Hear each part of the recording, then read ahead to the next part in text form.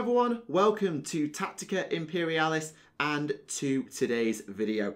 Today is episode 98 of Adeptus Podcastus. The next time this show is on my channel, it's episode 100. That's that's a prospect. But we're not there yet, and we've got plenty to discuss. So joining me as always is Remleiz from 40k Theories. Hello, everyone. And our special guest this week is someone who we have had requested very often in recent times in the comments, and someone who Rem and I have worked with very, very recently. Ladies, gentlemen, Xenos of all ages and everything in between, I give you Baldermort. Oh, hello, hello, hello, hello. Yes, uh, we got him, if you like. Um, you've been very, very requested by our comments. Have been asking a lot of last few episodes to get you on the show. So, welcome to the podcast. Hello, hello. Thank you very much for having me here. You're welcome. Absolutely no problem. I I have to ask is I, I assumed when I heard your first video that that was just a narrator voice. I don't know if it is a narrator voice or that's how you actually sound in normal conversation. I'm not going to assume either way. I just wondered. It, it's cutting out every now and again, I'm afraid. So um, I, I presume. Okay, it was just it was just just a, a, comment on like I didn't know. I sort of assumed that that was a narrator voice rather than an all the time on air voice, or that was a normal working voice. It's, it's fine either way. I, I was just curious. Oh, uh, it, it, it's more of my phone voice, which yes, I, I do when I'm on air. Um, obviously, I can be a little bit more energetic, but um, well, yes, I'm a little bit nervous. I do apologise. Honestly, you have well you we feel you have no reason to be. Um, I think your subs actually are more than mine. Um, so if anything, I'm the kid in the room. I think certainly by age, I'm the kid in the room. Um, so that's well, yes, but number, numbers don't count for everything. Size matters not, and all that. You know, Yoda yeah, lines. True, true, true, true. Right, uh, we have a lot to cover because, as you are well aware, we did episode 97 prior to the big Warhammer 40,000 preview, and I got absolutely royally mugged off because I was sending the whole episode saying, oh, they'll not do 9th edition, and they need to get everything in order first for Psychic Awakening. 9th edition. Just drop 9th edition right in my face. Like, okay, great, thanks, G Dubs. But yeah, we have got a lot to discuss. I think we just need to point out that Wargamer Girl was scarily accurate with her predictions. Like, I think she must be psychic. Either mm. psychic or has an inside source, one of the two, possibly both. Who knows? Or has just been watching the entire thing for a long time and uh, had some really good reactions based on what she knew. It's, it's certainly possible. I think, possible. to be fair, a lot of people were predicting ninth um, prior to this preview. I think I was probably in the minority in saying it was more likely to be a a, a big drop before ninth, and the ninth was going to come later. So I was probably the minority opinion at this point, um, and I proved to be wrong. So that's fine. Um, but we got a lot, obviously, on the show itself, and we've had plenty in the intervening couple of weeks. Uh, both models, law, and rules. Plenty to get through. Hmm. So I guess the question is, where do we start?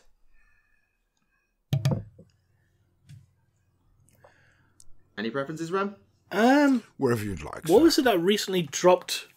Um, well, let's just, let's, let's drop drop start off with the um, the new art that they've showcased for 9th edition, which actually looks really nice. Actually, mm, I know that that has won the hearts of Twitter. Um, the gungus the um, with like gun fungus or something. Uh, I know that that's a meme that's going around at the moment.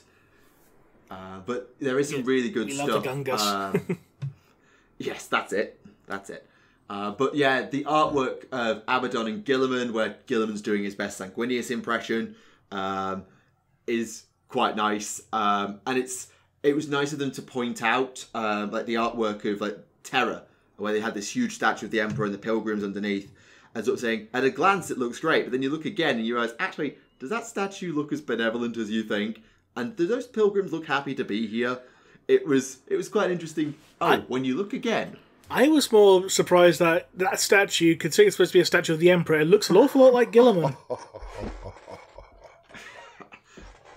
I wouldn't be surprised. I wouldn't be surprised. Uh, no, I haven't actually had much time to look at. Well, when it comes to new art, I kind of like to sit back and really look at it. And I've got to admit, I've been so busy this week that I haven't actually seen the art drops yet. I've seen them obviously in small screen, um, but uh, I'm really, really looking forward to uh, later on or tomorrow being able to really just absorb everything that's going on because it's uh, it's been going so fast as you say. But new art, as we all know, doing what we do, it's uh, it's so needed. It's so, so needed. People think there's a huge amount. There actually isn't, really, if you break it down into individual groups, etc. When either myself, Rem, or anybody else are trying to put a video together, I think we're all pretty much sick and tired of seeing exactly the same stock art. I just think they should have a lot, lot more, and it's wonderful that they're starting to bring some out. No, and that was a bit waffly. No, no, I do that's a fair point. Um, I know when I go looking for artwork, um, I actually try and stay away from doing official GW art in my lore videos because I like to give credit to other artists and showcase their work uh, where I can. And it's also much easier to accredit to artists on like DeviantArt than it is to accredit to a GW artist because sometimes they don't tell you who did what. Um, but it is really absolutely quality artwork. And the one I'm looking at at the moment is the one of, I think it's the Blood Angels. And it's it, it's hard to describe. I'll, I'll, I'll drop it in the chat in case people can't uh, remember which one I'm talking about. But it's a really really interesting image that sort of plays up sort of the I don't want to say the nobility of the Blood Angels, but also completely doesn't. Because uh, it's such a dark set of tones, everything looks like it's on fire in the background. Nobody looks happy to be there. Um, yeah, that's, that's the Blood Angels. Yeah, I like they're actually using the um. You see with the chapter banners there, they're the ones that are still being used from like you know from from well from 1.5 edition, because like um the main one um that's being shown, I think that was actually on the uh the old War Gear book from uh second edition. Yeah, I see so, what you mean. Actually, yeah, it might be. Some of these banners. So well, yes. Uh, are you talking about the like the third one from the left? Yeah. Yeah, that's the fella. Oh, that brings back some memories, doesn't it? I've got to admit, at this time, just looking at this image for the very first time, so I do apologise, I'm a bit staggered. On the right hand side, doesn't he look at almost a bit word bearer in feel? um, just I don't even know what sort of Space Marine that is, because that staff doesn't look like any Space Marine war gear I know. I, like, if I had to guess, I'd say he was a chaplain. Yeah, I, but, I, would have said it was a Crozius variant as well, Rem. Yeah, uh, yeah, probably. The, I don't know if I don't know if the armor's black and it looks black. But it could be the lighting, in fairness. Mm. It it could very much be the light. It's hard to say. And yeah, it's it's just a really interesting piece of work. And it's nice actually to see for the bottom left, you've got that yellow and black yep. striped chainsword. That's a throwback. That's a proper throwback. mm. Yeah, I did Iron Warriors the other day. Ooh, lovely. You've got to admit that yellow and black, it, it, just looks great, doesn't it? Come on, it's like a massive angry bumblebee. And yeah, you, uh, anyway, sorry, I haven't had a lot of sleep, so I do apologise. I can sympathise. Don't worry. oh yeah, I can imagine. Yeah, insomnia. Hey, yay. Uh, spinal issues. Yay. Sorry, carry on. mm. Oh, it's, oh, I'm sorry to hear that. That's all right. Not fun. No. Not fun.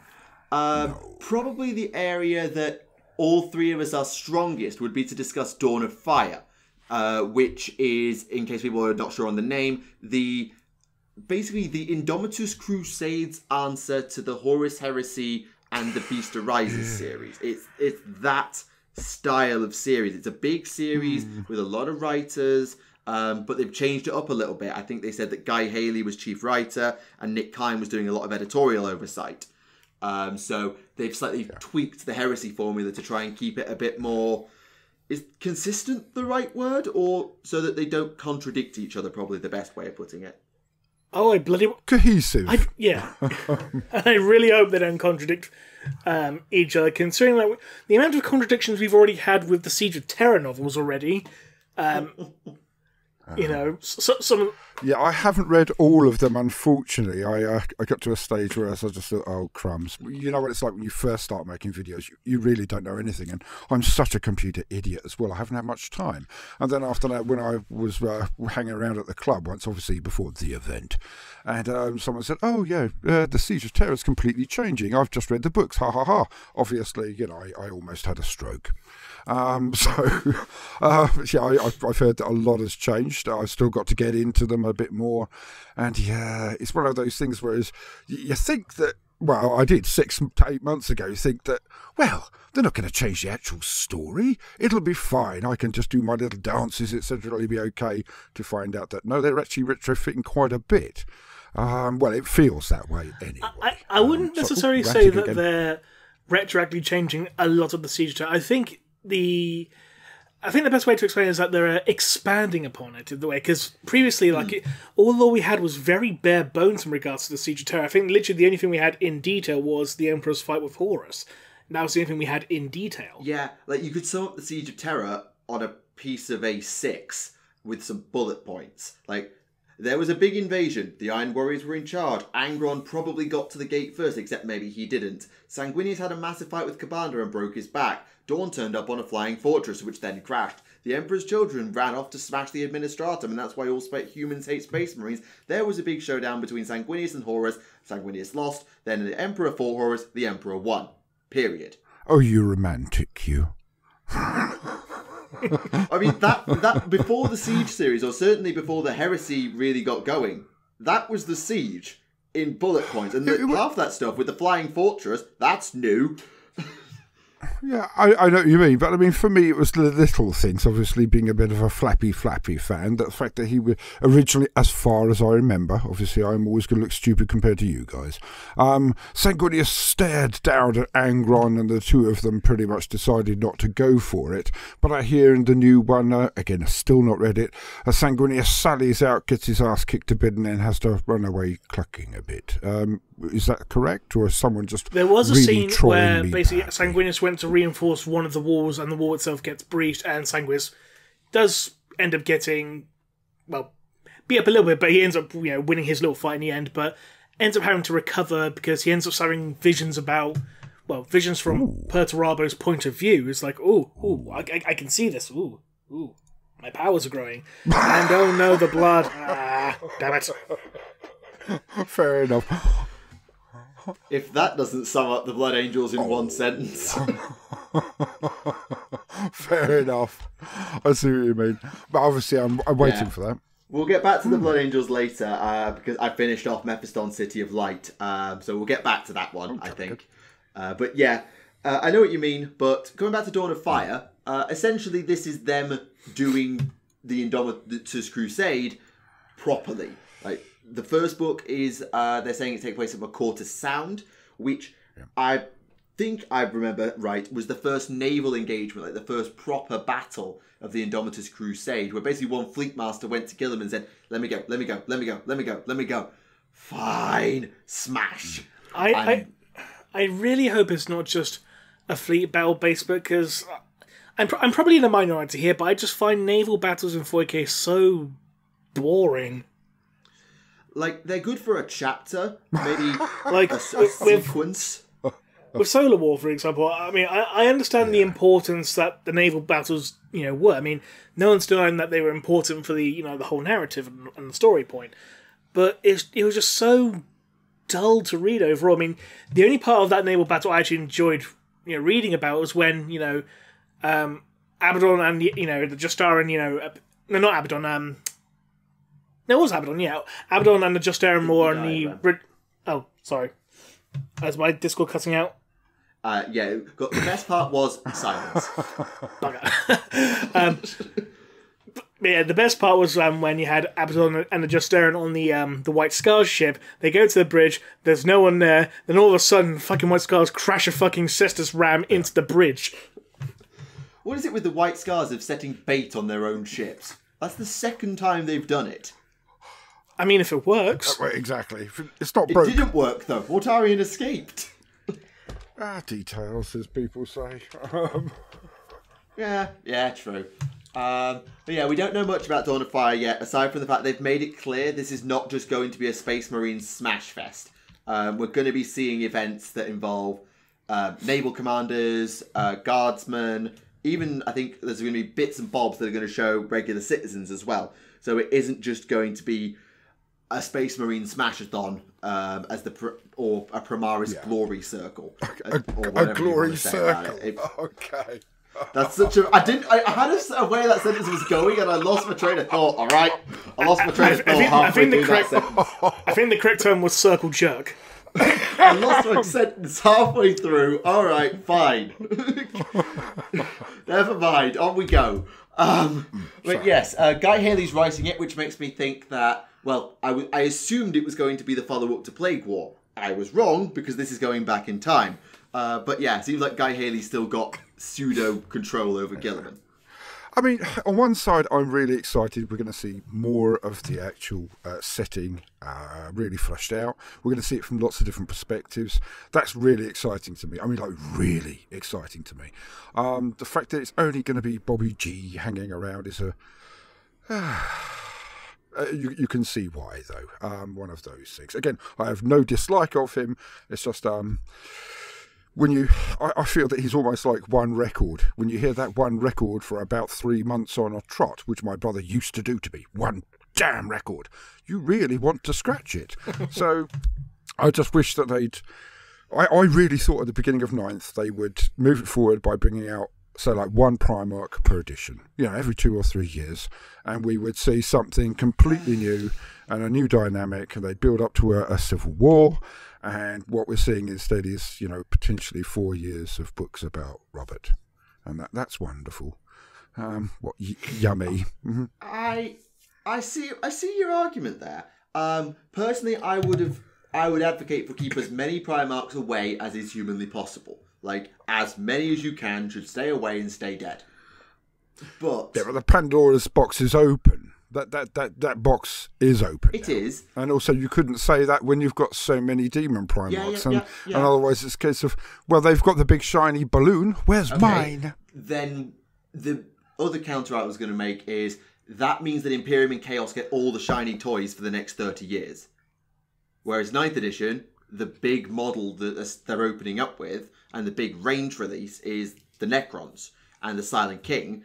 So for once it's not just all about the Space Marines because we're pushing another faction, another species, which is a good change. And I think putting a Primarch out would really overshadow that because it suddenly is like, wait, we've got a Primarch back. Oh my god, Primarch, Primarch, Primarch, Primarch, Primarch, Primarch, Primarch.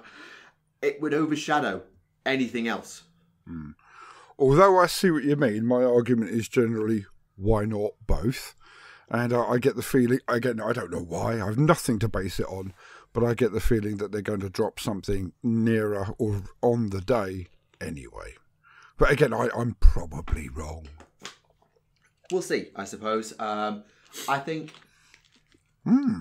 I, I wouldn't be surprised to see another Demon Primarch back. I I think Demon Fulgrim would be an yeah. amazing model to see if they ever do it. Um, They'll probably do Angron next time, in fairness. Demon Angron. Well, yeah. Um, and we still don't have mm-hmm. a hmm? clue what Demon Pert looks like, so that could go flipping anywhere. Um, nope. Yeah, it's. I, mm. I personally think that too much Primarch saturation would end up just meaning that, oh, you play Imperium. Oh, what's your army? Seven Primarchs. Okay, maybe not Imperium. Oh, you play Chaos. What's your army? Seven Primarchs. How? Because I can. Great. What, what name characters have you got? Um, uh, Seven Prime Uh, yeah. Versus oh, we got we have Ghazghkull. It's one Lord of War who fits on a base small that can go toe to toe with the weakest Primarch the Imperium will ever have in combat, pretty much. Um, and oh, what have you, what have you got, Tau? Nothing. Necrons. Oh, we have the Silent King. That's good. You got one dude. Good. It, it would just feel exceptionally unfair unless you could Primarch tier some characters without having to completely break the law to do it or introduce Primarch tier characters for species that really shouldn't have them. Yeah, I, I see what you mean again, but we're still sat with uh, the rest of us having nothing, and uh, say Bobby G's boys, and of course uh, Mortarion's lads, And uh, of course, uh, you know, big old flappy flap one eye, the Cyclops running around. So the ball's in there. And my, my perspective would be yes, I agree with you. Either have none or have more. And just because there are, it's easy to do a Primarch doesn't mean that they couldn't do, say, something like a proper Khaine, uh, Kaela Mensha. There's no reason why they couldn't buff up the uh, you know, the Yncarne, and there's no reason why something else couldn't come out. I'm not really a preclusive mm. person, more of an inclusive. It's because of well, it, it, oh, if no, the balloons I, are up, let's let's get more balloons in the air. Although I do see what you mean, but I'm more of a narrative player, so I just kind of chortle when I see multiple people in tournaments using um, Primarchs, and I, I, just find it quite hilarious because it's not my concern. Um, so I, but I do see what you mean, and um, yeah, that, that could be a problem, escalation. But we know escalation's occurred think, already. Yeah, I, I, I, do get it, and I think it would be nice to see some more of the Primarchs back in model form. Uh, even if they didn't have rules and they were purely collector's items, that would be an interesting concept. I think it would just be because, oh right, so we're putting out for this game, this this new edition, we're going to have the Lion versus the Silent King. Right, who's going to? I don't want to say care because it seems too harsh, but this is why I was surprised when Psychic Awakening 9 was sort of revealed as early as it was. It now makes sense in the context of 9th edition.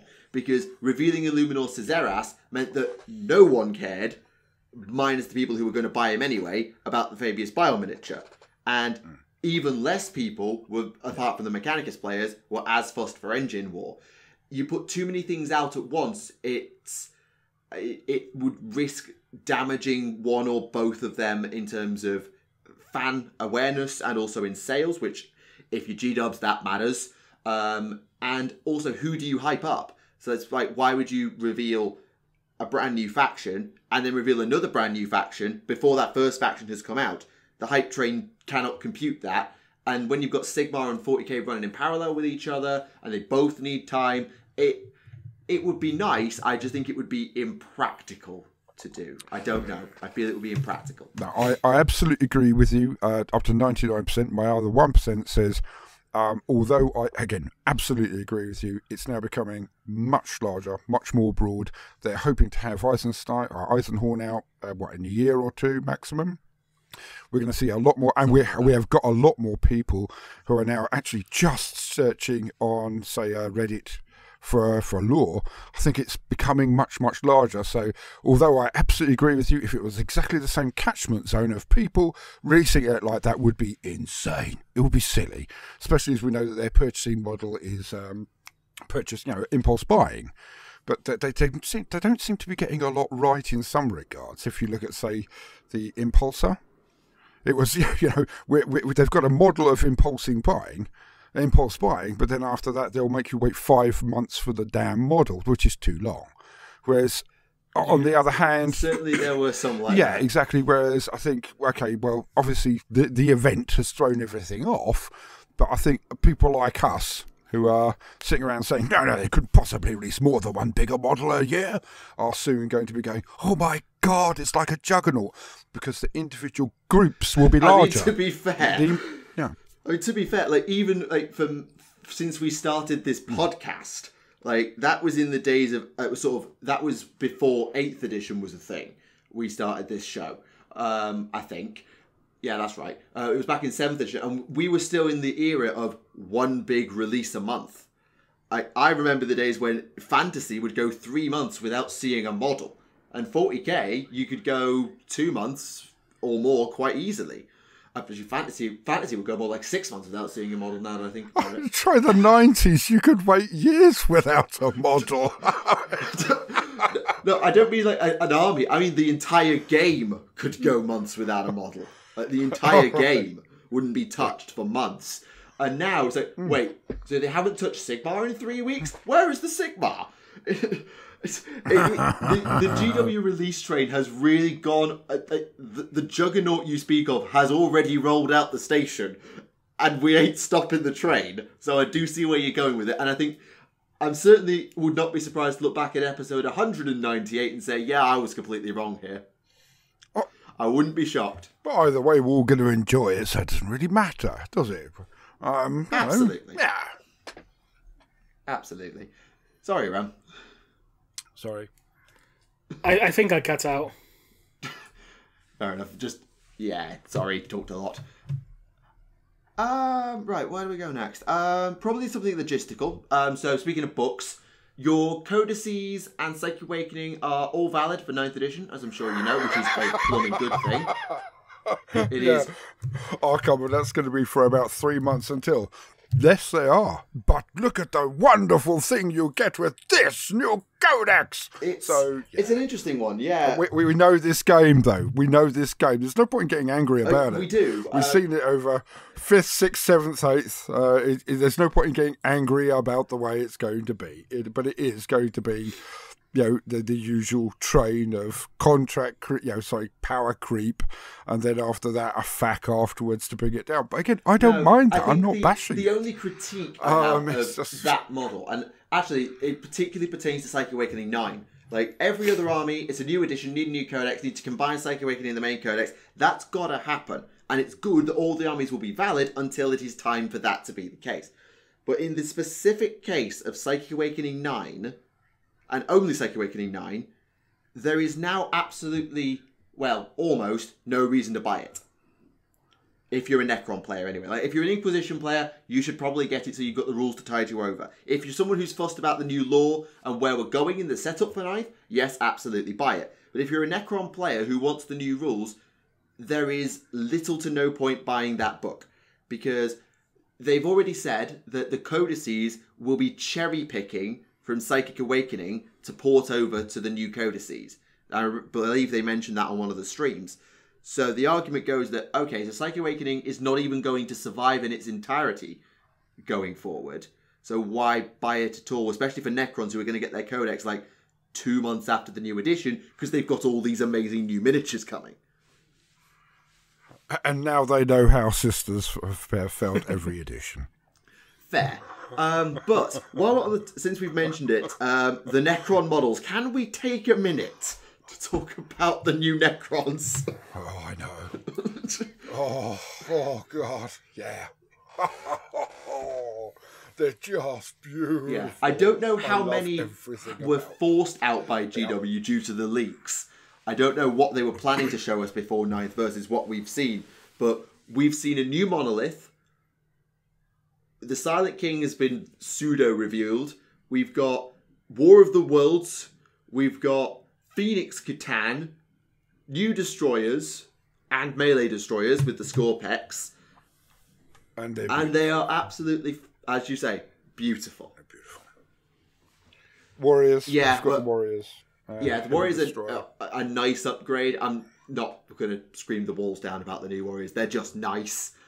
Um, Oh, come on. They've got that thriller thing. Thriller. I think just the main thing is I'm glad they've got rid of those little green bars because now you can paint your Necrons whatever colour you want. um, yeah, but you could have always yeah, painted you over lo- them. You lost the cool oh, effect. Like, I had some Necrons and I painted over the translucent mm. green in in opaque blue, mm. and it looked awful.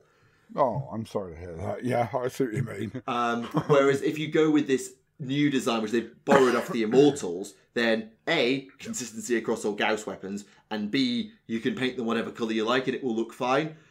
Um, but I still think one of my low key favourite miniatures is the new Monolith. I I know the Silent King's amazing. I know the C'tan's amazing. I know War of the Worlds is well, I, I'm calling it War of the Worlds because I don't have a better name for it. The big spindly thing with a doom gun on top.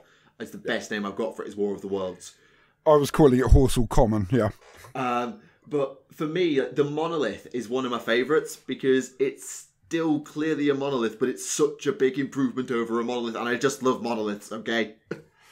Yes, yes, I, I know you mean. One of my best uh, player, you know, friends plays Necrons uh, religiously. It's just that they don't, they don't do a particularly large amount in eights. I mean, we've played with them anyway because we're narrative players, but. Mm underwhelming. Well, it's not strong enough a word, is it really? I think that could be said for a lot of factions in 8th edition, sadly. Um, but. Oh, no, I just oh, meant the monolith. in particular. Uh, yeah, that's fair. No, not that's the Necrons. Um, I think. I, I, remember my. Not my first game ever, but one of my first games ever. Uh, it was back in 5th. and I one shot killed a monolith with Gutsmek. but now I'm going to caveat that that I accidentally cheated to do it because I didn't realize how the rules worked. Yeah. So well, you didn't cheat. You fired it, and you were in error, and you yeah, all so had a I good thought laugh. Wazdakka had the ability to run and charge when you called a war, so I was able to run and charge him, yeah. turn one into a monolith. Now, back in these days, power claws were times two strength, and then you got plus one on top of that from Furious Charge. So he was so he was able to glance the monolith, and because he was AP2, you got plus one on the vehicle damage table. Yes, there was such a thing as a vehicle damage table to the new people, and I got a lucky six and wrecked it on the first turn, and it was just wonderful. It was it was one of the most gorgeous, ridiculous moments, and it stuck with me. I mean, in fairness, it is true to. That's why we play one. It is true to look, considering that Wazdakka did also one shot a Titan by himself. I mean, technically, that was by killing its princeps, not by actually killing it. Yes, but he did end like you know, like popping a wheelie and driving into its head, and catching fire, and cracking through the head, and killing everyone in it while on fire, and has the skulls, which are still on fire, on the back of his bike for all of eternity, and it is the best thing ever. I, I, like to think that um, Painkiller by Judas Priest was playing as he did it. and he was wearing his Doom Rider t shirt, yeah? Oh, naturally, um, yeah.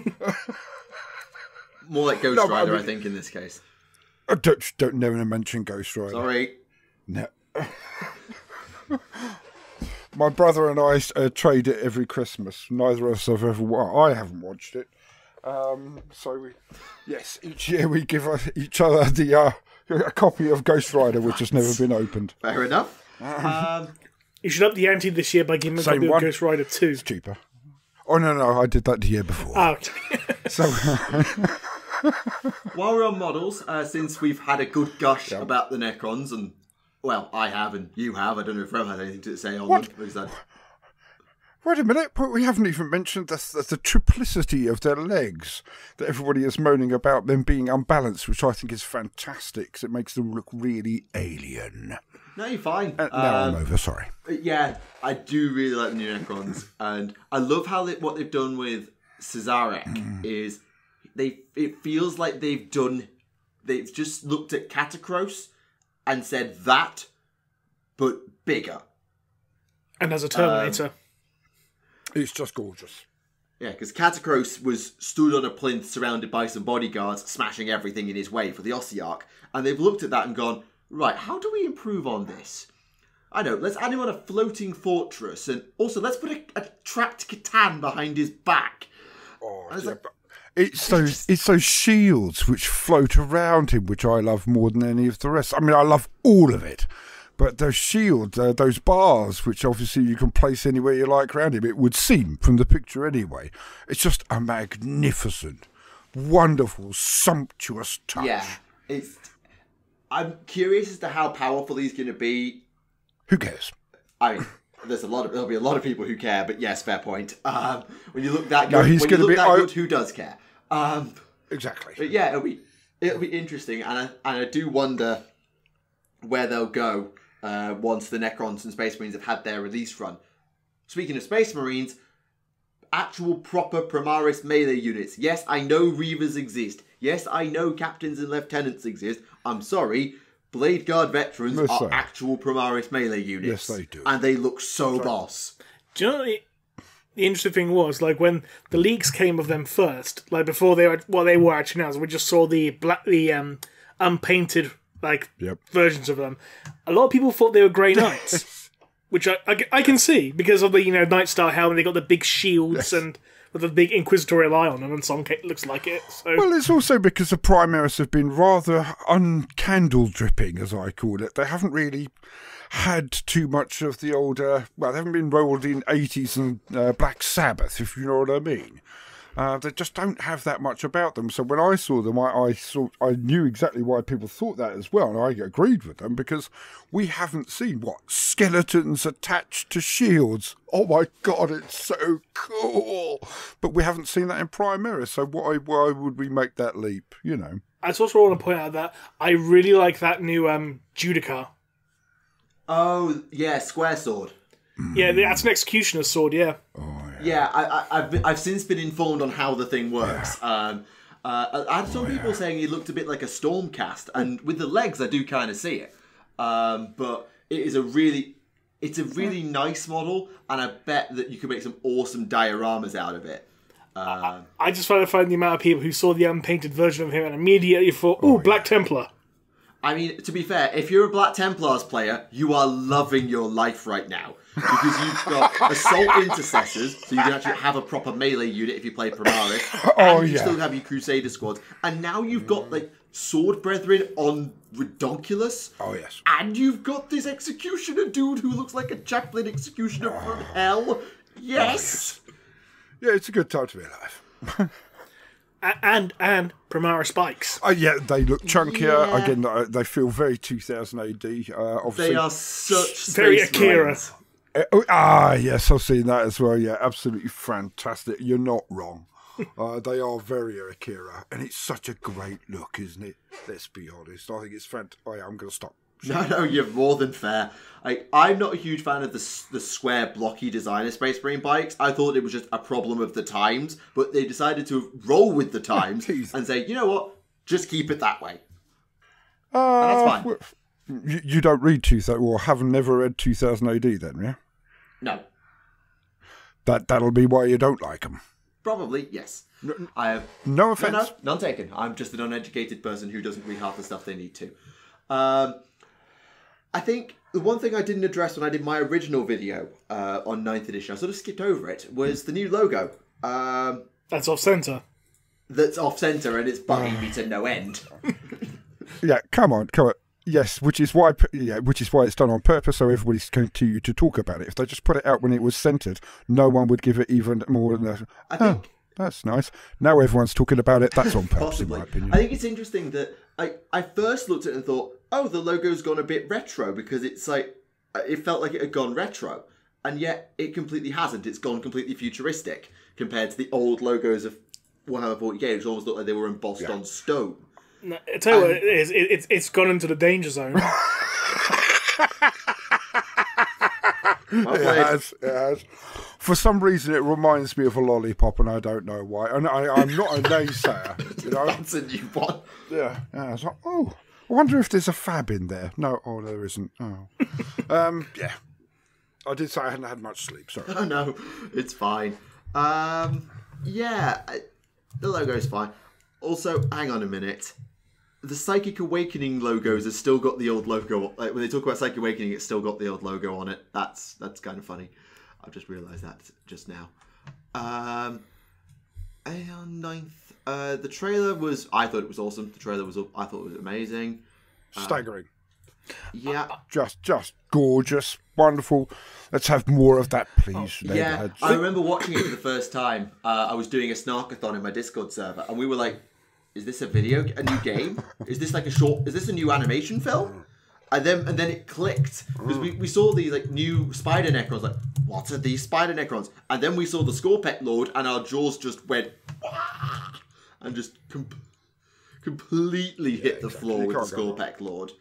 And then we realised it was ninth. It was mm. it was a thing. Oh, that's cool. Uh, I don't know. My favourite bit was actually uh, the scarabs when they're flying around in their huge amounts, etc. And uh, I, I really thought that was a great touch. And obviously, the melting head, wonderful.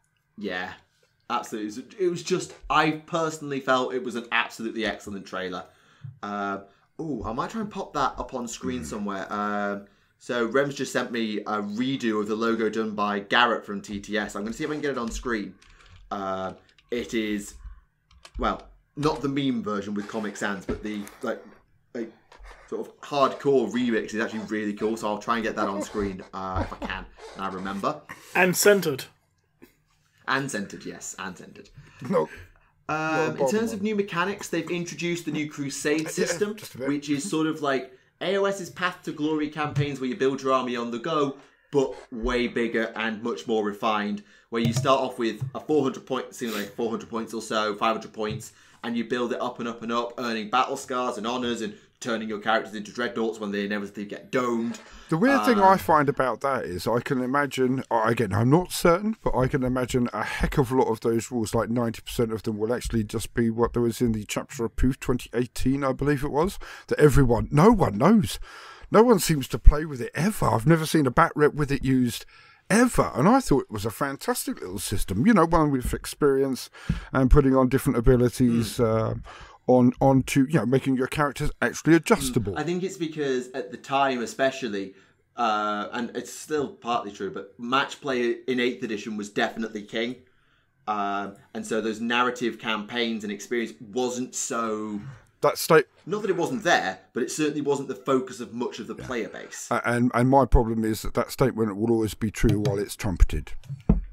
That is true. Uh, but it feels like they've really tried to push narrative play this edition. So um, even in matched play, well, with yeah. Crusade, which they've sort of that's the poster child of this edition is Crusade in many ways. Oh, I'm not um, arguing with you. Um, what I think is is they're, they're going to put na- push narrative play. Uh, again, I just have a concern, and it's not bashing them either. That it's because uh, competitive play is going to be a little bit more brutal. Well, they certainly have done a lot to match play, which I was coming on to in a moment. Uh, but mm. even keeping the narrative, what I've what I've actually quite liked about what they've done to match play um, is that they've added in. I think this is taken straight from ITC, uh, one of the big tournament organisers. They've added in these secondary objectives that you can pick for your army to do. So you can actually specialise your army slightly. So you're still going to play the mission, but you also get a pile of victory points off doing what you oh, no, want. Of course, yeah. It's about it's about one or two turns worth of VP just by doing what your army does really well. Mm, I mean, which is good as well. I mean, ITC and our such things had some really good ideas, and obviously then bringing in one of the uh, you know tournament organisers to help with the entire running of, of their match play situation is going to have bonuses like this because they are good. Uh, people, if they play match play, want control. Yep. And if you're going to take away a lot of the things like the um, detachments and and uh. CP situation, which I'm not touching with a barge pole, I think it's hilarious and I love it. But I can see why many, many a, a wailing and lamentation will go on. Mm, the old CP, well, well, the eighth CP system. It's not the old system just yet. Um, the eighth system had not yet lots of great concepts. I think this was what eighth was. Eighth was a brilliant concept of reshaking up 40k, it just had a couple of well, a few minor flaws like why can't my tank shoot when it's covered in grots, and what, and then the major fundamental. it was true. That's how it worked. I am well aware. I have parked many, many, many, many a Tyranid gaunt next to a, a, a Land Raider and laughed. it is ridiculous. Uh, but I think the command points and the ability to generate huge amounts of it, particularly when soup was a lot more pronounced, did hurt some people's view of 8th edition. And so what they've done with 9th well, is they've flipped yeah. attachments and CP on their head. So now you... Well, again, I mean, the rusty, the rusty uh, was it thirteen or fifteen or whatever, seventeen? Sorry, the the loyal thirty-two. I mean, that made it a really just more of a textbook and tapping kind of situation here. It was accountancy one hundred oh one to see what could maximise. Whereas, I mean, I will always prefer mono builds. Again, I like to be able to have options to do anything and bring in other forces, etc., which you now can. But it's very annoying when people turn around and say the rules are broken. Uh, no matter how many people, even if they've got 200 rules writers in a room, they can never, ever outthink 100 to 200,000 players who are trying to break the game. So, uh, one of those things, isn't it? Yeah, that's very fair. Uh, but what they have done with detachments is, as I say, flipped it on its head. So, let's say you're playing 2K, 2K points, uh, because they've got four game sizes now 500, 1K, 2K, 3K. Um, let's say you're playing at 2,000 points. You get, I think it's 12 CP to start with, and then you buy your detachments using CP. Um, you're allowed three detachments in a 2,000 point game, and you pay for each of them a certain amount. Yeah. But if you take a core detachment that includes your warlord, so you take a patrol, a battalion, or a brigade, that detachment, and only that detachment, is free. So if you run a pure mono build using patrol battalion brigade as scaling, and that is your warlord and is your only detachment, you get the most CP. You want allies, you pay for that. You want some extra elites in another detachment, you pay for that. You want to take a slightly janky army that is reliant on heavy support, you pay for that. But I think it's going to be interesting to watch how they deal with knights and how they deal with Drukhari, both of whom either rely on lots of detachments in the Drukhari's case, or can't unlock most of those detachments in the Knight's case. Um, yeah. No. It's, it's going to be an interesting. Well, it should be, and obviously we don't know all of the rules that are out yet. They're going to be changing things as things go. We know there's going to be power creep, etc. But starting off with the perspective that actually someone starting off with one force instead of cherry picking everything and then putting it all together, which is fun unto itself. Trust me, I spent a lot, I mean, a lot of time on Battle Scribe. I love it too.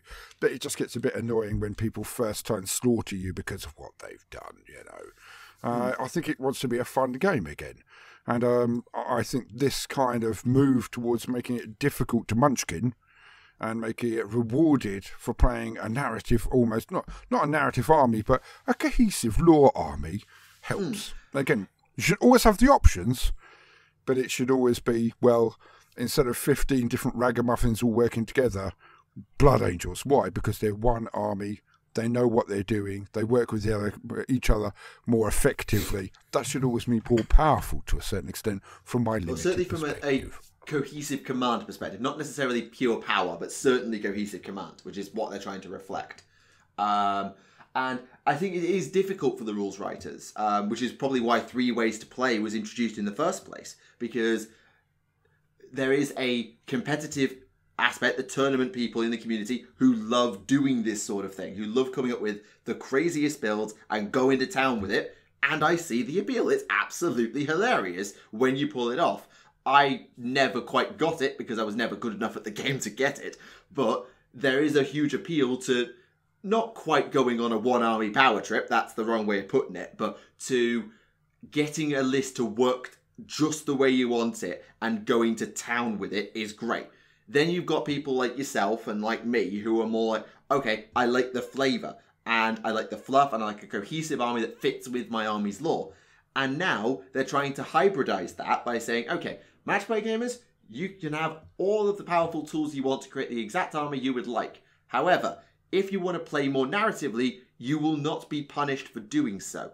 It will feel more like, as a general, you are more in control. It's, it's an interesting challenge of what they've tried to do to try and allow narrative gamers to hang with the competitive players and also incentivize the match play crowd to reflect and do a bit more narrative building to reap the benefits of it. It's an interesting idea, and we'll see how it shakes out in terms of power levels uh, and also costings because everything is getting a points hike. Hmm. It's going to be interesting to see. I'm curious and I'm kind of excited for it.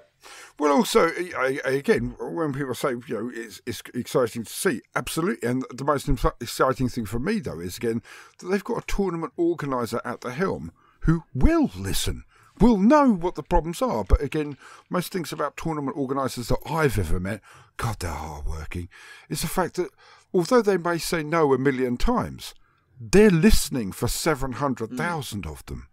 They are actually listening and then going to take those those those actual rules and those queries and then move them forward. I think it's an exceptionally good move from um, Gamesworks yet again, and I'm really, really optimistic about that. Yeah, for the I tournament players, they've streamlined the game for comp, which is great. They've added a bit more flavour for narrative. Obviously, no plan survives contact, and we'll have to see how it actually plays when it comes out. Um, how the new, more narratively incentivized terrain rules will work. That looks interesting. Whether whether the new blast weapons will be fair, whether the new flyer interactions will make more sense and stop the Eldar flyer uber jank that was minus three to hit all the time. They've also nerfed modifiers to be a maximum of plus minus one, which is probably for the best after watching Eldar flyers do all the jank in the world.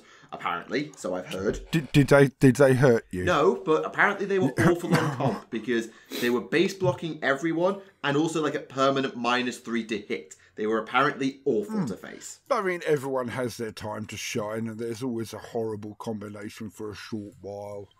Um, yeah, there was also don't disagree with that. Uh, what is it? Oh, Storm Raven spam at the beginning of eighth. That was quite nasty. Mm, it, it, there's definitely been a lot, uh, but we'll see. We'll see how it goes going forward. Um, Rem, you just sent me something, and I think you want to shout about it. Yeah, so they also um, are re-releasing Horus Rising in hardback again, but it's got a new cover that looks like absolute dog shit. like it's sky blue and gold coloration. It's like who thought that was a good combination of colors? Um, it really does not it looks like a school textbook. I wouldn't go as far as school textbook, but it does not look like a Games Workshop Black Library production. I'll certainly go with you on that. No, no, I, am afraid I'm with Rem. Actually, it looks like a you, you know at the, at the, end of your syllabus, you've got a, a small play that you have to read and you have to kind of possibly attend. It looks like a flyer for that. It looks like a generic physics textbook. Oi. Yeah. Oh, true, true. That's literally my job now. Oi! Don't worry, you got an opportunity to give all your kids a copy of Horus Rising now. oh, that would be the day if I read that one past HR. Oh well. I mean, looking at it, they ain't going to tell the difference, are they?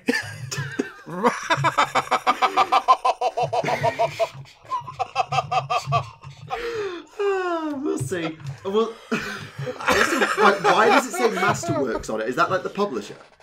I'm, I'm not sure if that's the publisher or if it's part of like you know a sub series type thing. Like they're gonna put like a bunch of like you know really popular novels in this like mini series or something. I don't know.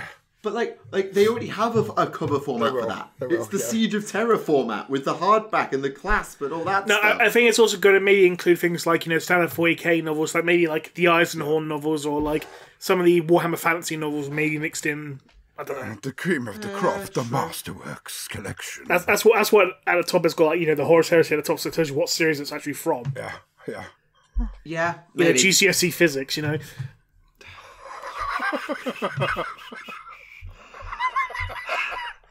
Right. um, while we're on books, uh, physical books are back. Uh, Black Library are back.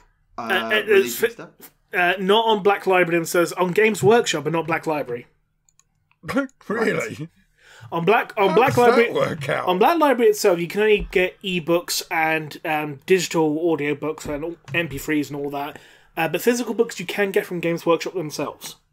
Yeah, so some of the examples they talk about, okay. they've got uh, here, like Sons of uh, Sons of Selenar went on pre-order. Uh, there's a few uh, classic heresy books of, that went on short-term pre-order, like Fear to Tread, uh, Betrayer. Oh yeah, the made-to-order ones, yeah. Made-to-order is that it? Uh, a couple of new Warhammer Adventures for Kharadron and Orcs, depending on which side of the system you're on. Uh, and there's a few book, couple of books in other languages. Uh, they're just oh, speak, speak, speaking of the other language ones, one thing that's quite interesting um, for some reason, the French are getting a Horus Heresy omnibus. Hmm. Uh, the Horus Heresy Collection 3, Légion, La Bataille des Abysses, uh, Mechanicum. Okay, yeah, Legion, The Battle of the Abyss, and Mechanicum. Has that been an omnibus before? I don't recall that one. I I, I remember seeing, um, you know, Horus Rising, Galaxy in Flames, and False Gods as one omnibus, and Burning of Prospero and um, A Thousand Suns as another omnibus, but not seeing that one in English. Yeah, I don't even know how well they connect together because Mechanicum is the Schism of Mars. Which one's yeah. Battle for the Abyss? Uh, it was shit. That's probably what that, that might be why I don't remember it, but I don't even remember. Was it foul? I think Battle so. For the Abyss foul? I think so. I foul. Um, which has nothing to do with the Mechanicum at all. And the oh, other one's the Alpha Legion yeah, a bit disjointed that one. Um, but yeah, that's now a thing that is back. Um, was there a, another set of books they talked about? No, they didn't. Um, so just to wrap up with ninth ed there, or new things that have happened because of ninth ed. I do actually I forgot to talk about the um, the law of uh, the end of Psychic Awakening, but I've missed it now, so I'll come back to it later. Um, they've got a mer- well, we've got the action figures, and we have a merch store. Oh yeah, we do. Yeah, we do. Yeah, Warhammer merchandise is a thing. Ah. Oh dear. Yeah, uh, if I ever come on again, we'll have to do it on a Saturday. So I've actually had some time to look up. No, I'm so it's, sorry. it's fine. Um, what, what what what kind of merch is there? When Like you say t-shirts merch, and I mean, I, I, I t-shirts I'm actually quite scared. There's Oh, that's shirts, right. hoodies, trout like joggers. Nothing that contains Uh, batteries. For a I thought you phone said cases, trout. Eh? I thought you said trout for a second. I, I started to say trousers, then realised that was wrong, so I, I corrected myself. you Um, definitely said trout. phone cases, Oh, mugs, trousers. a couple of poster prints, laptop cases. It's a mix of stuff. Um, apparently, according to some people, it's pretty well priced. I'm not an expert on merch, as I've said in my video on the topic, um, and most of it's quite simple. Like, a lot of it is slight variations on Codex art, but there's one that I saw which was a Jez Goodwin sketch on a T-shirt. Oh yeah, that's an now. the Jez Goodwin Dark Reapers sketch on a T-shirt, um, which was nice. And I kind of want the Tau phone case because my old phone case is past its best and needs replacing. uh, but yeah, that's a, a definitely thing, uh, definitely a thing that exists, and uh, Fair enough. we'll see if people go for it. I guess. Um, Depends how many beers they've had, really. Um, I'm sure they'll they'll get loads on a Saturday night. Well, maybe when the pub's open. No, no, way after the pub. No, the pubs aren't even open to be after the pub yet. Why would you bring that up again? Sorry, I, mean, don't drink. Damn this you, Steve amazing. Carino! Sorry, you don't drink. Well done. How I, healthy I'm nuts. you. I know. He's Um, too young. I'm, 20, I'm nearly 24, Remleiz. Sorry, I know I'm you're 24 and you don't drink. Never started. My dad had a transplant when I was 12. My dad had a liver transplant, never went back to alcohol. Not, not, he didn't have a transplant because of alcohol, but he gave up alcohol after the transplant. Ergo, I never had an incentive to start. Fair enough. Um, Okay, but anyway, I, I respect your decision. Um, also, new action figures. Let's get back into something a bit more positive. Um, so after the Bandai action figures, which have been met with mostly positive, if not perfect results, McFarlane have released a Necron Warrior, or are going to release a Necron Warrior and a Assault Intercessor. I thought it was a sergeant. figure. Hmm? I thought it was a sergeant. Because of the helmet. Oh yeah, it's a sergeant. It's just I, I went. Oh, it's the sergeant featured in the trailer, so it's probably an Assault Intercessor sergeant. My main problem with these is that they're not going to be in scale with the Bandai figure because they're smaller. Oh, that's yeah, not they're good. seven inches in total. Is that all? That's what she said. I knew that was coming. Yeah, name of your sex tape. Right. Um, but either way, they look pretty good. The Necron reminds me a lot like a Bionicle. Oh, oh dear. All right, yeah. Uh, c- can you put a picture that you're looking at onto the um, uh, Discord? I'll ping you the link. See, I've only actually got one monitor, so uh, I'm sorry. That's So all right. that's, so that's Oh, the here we go. article in question. Um, and they do say that there's going to be other ones. So there'll be an unpainted intercessor, like an actual intercessor. So you can actually now have a paintable Bandai action figure rather than having to be an Mc- ultramarine. McFarlane. McFarlane, not Bandai. McFarlane, yeah. Sorry, a paintable McFarlane oh, action figure Now- that doesn't have to be an ultramarine. Now, is it just me, or is the Necron's gun a bit wonky? It, it is most definitely wonky, and I'm not really keen on the green.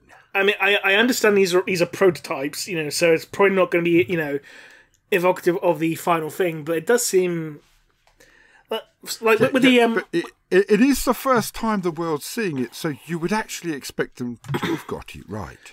true. Also, is it just me, or is the um the Primaris figure his shoulder pads are a bit low? Small? Also, a bit low down. But I- Yeah, I, I, actually. feel, I, I feel like this should be a little little higher. I see what you mean. Yeah. Yeah, I didn't bit. see it see until what you you said it, but now I can't unsee it. But again, these are prototypes that are being shown, so you know they might be improved. Uh, they don't actually say that they're prototypes. No, no, no. It, it does. Uh, if you look at the at the bottom of like you know the um the the one with the white background, like with the Necron at, at the very bottom, it says prototype um, subject to change. Oh yes, it does actually. In that very right. very tiny print. Yes, they do. They do. You're right. Good spot. Missed that one. And also, the sergeant's pistol seems very small as well. Certainly compared to the like, literally, they've got it in the trailer underneath, and it's like, okay, that that's a bolt gun. That I, I tell you what, it reminds me of. It reminds me of any time that Rob Liefeld tries to draw a gun in his comics. it's just basically just a rectangle. oh dear. Yep, Liefeld. Uh, always funny. I haven't talked about Liefeld in about a decade. Remleiz, what have you done? What? I feel like you you might have just awakened something there with that. All I did was mention Rob Liefeld. you know, the man who did like the most poorly proportioned Captain America ever. Yes, yes. I don't, I think anyone's going to forget that particular image. No.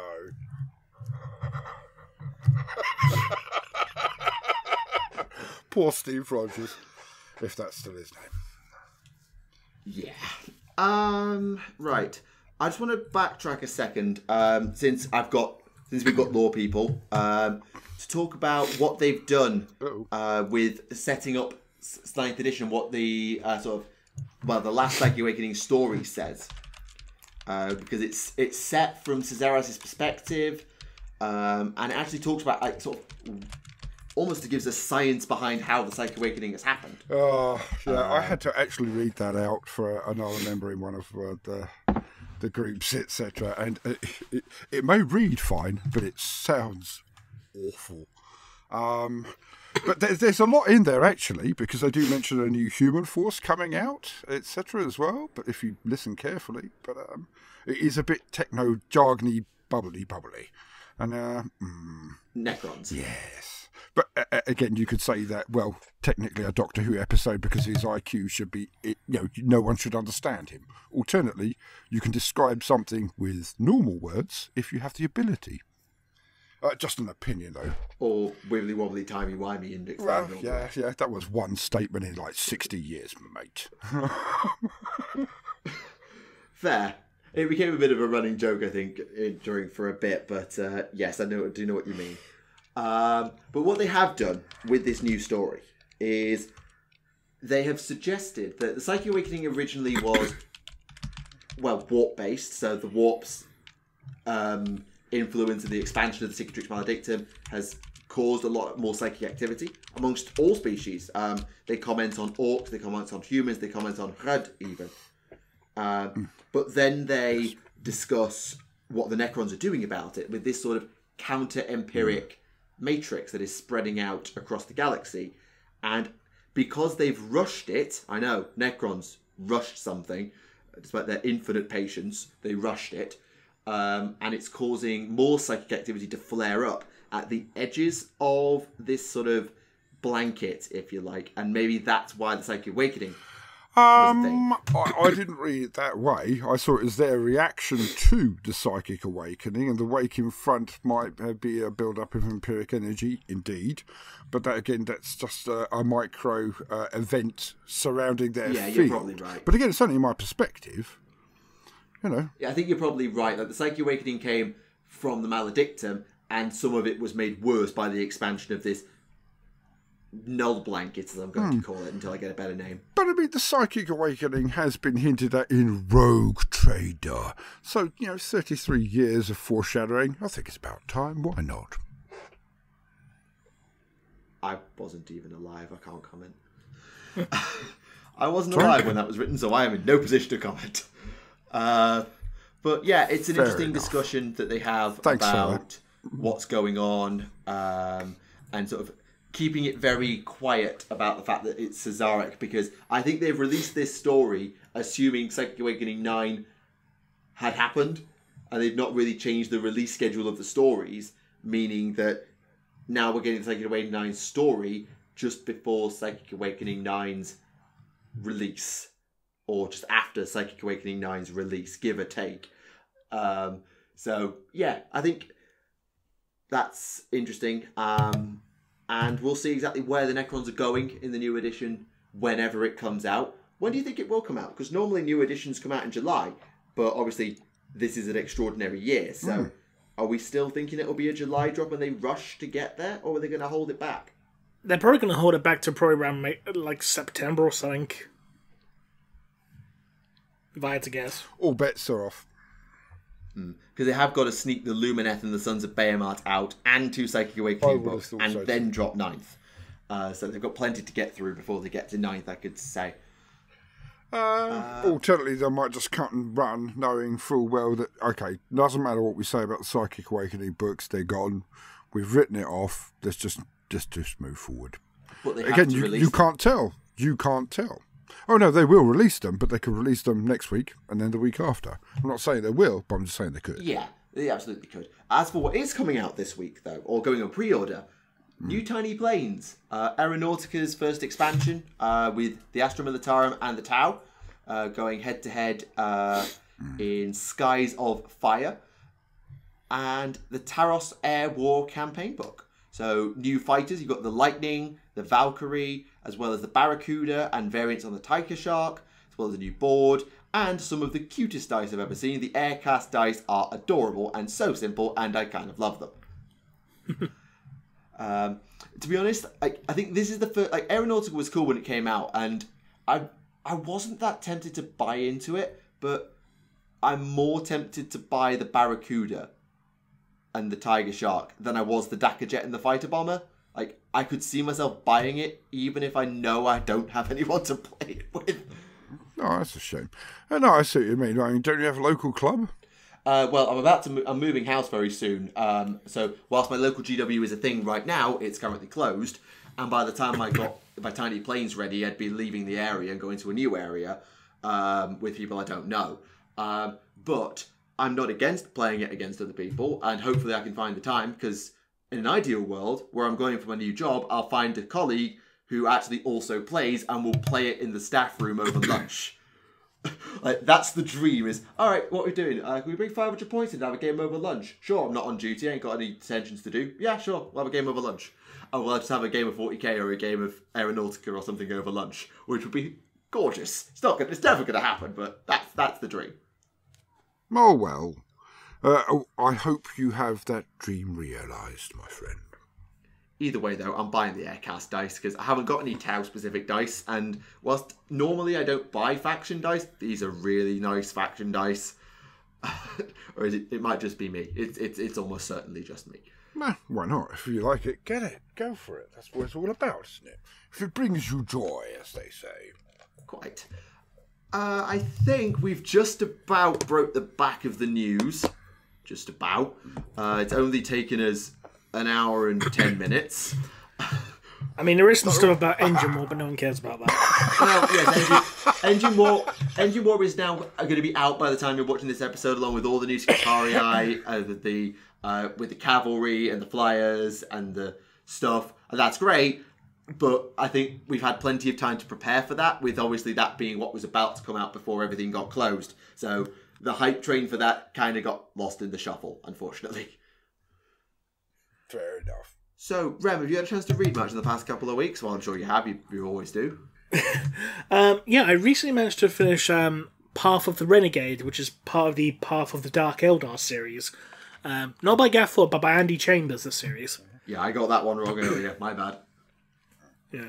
It's quite an interesting one, actually, because um, it basically starts off with, you know, three archons from three separate cabals, basically all coming together, like saying, "Hey, you know, we're kind of sick of Vect's shit, and we want to try and overthrow him, but none of us are actually good enough to overthrow him. We need to get someone who's actually capable of doing so." So what do we do? How are they? How are they archons? At that point, if you're saying that about Vect and plotting against Vect, you're dead. So, but, I mean, oh, don't worry. I'll meet up with two other lovely people. I'm sure no one will so actually put. What they do, they basically. How are they alive? They uh, concoct a plan to basically resurrect Vect's greatest rival, an Archon named El'Uriaq, who was basically the master of Shaa-dom. Oh, which, for those that. you don't know, was an area that you know. Pre- we haven't seen him since it, fifth, have we? Vect collapsed it and merged it into Commorragh, as I recall. Yeah. Yeah, basically, it was close to over. Uh, they were about to pretty much to see, and then Vect said, "Hey, um, I, am just gonna, you know, allow demons to invade your realm and see you off. Bye bye, have fun, fuck you, kind of thing." yeah. So these Archons, they go to Shaa-dom and to basically, uh, well, they they send their minions to Shaa-dom rather to basically collect El'Uriaq's remains, um, and they also conduct a raid on a Exodite world to basically kidnap a world singer because a world singer is needed to bring someone back who's been dead for over thousands of years. They need a quote pure soul, which has to be a world singer. Okay. Um, so they resurrect El'Uriaq, and oh, uh, guess what? Um, yeah, turns out when they brought his body back, um, there's now a demon inside oh, him. I mean, I was wondering, like, you mentioned this earlier, like, what happens to Dark Eldar? Well, we know what happens to Dark Eldar souls, but how so do you get a Dark Eldar soul back when you res them? Uh, stay tuned for that video. Um, yeah, that's your problem, Rem. I only do kiddie stuff, you know me. Oh, just just, just the Death Korps of Krieg. Yeah, proper kiddie stuff, that.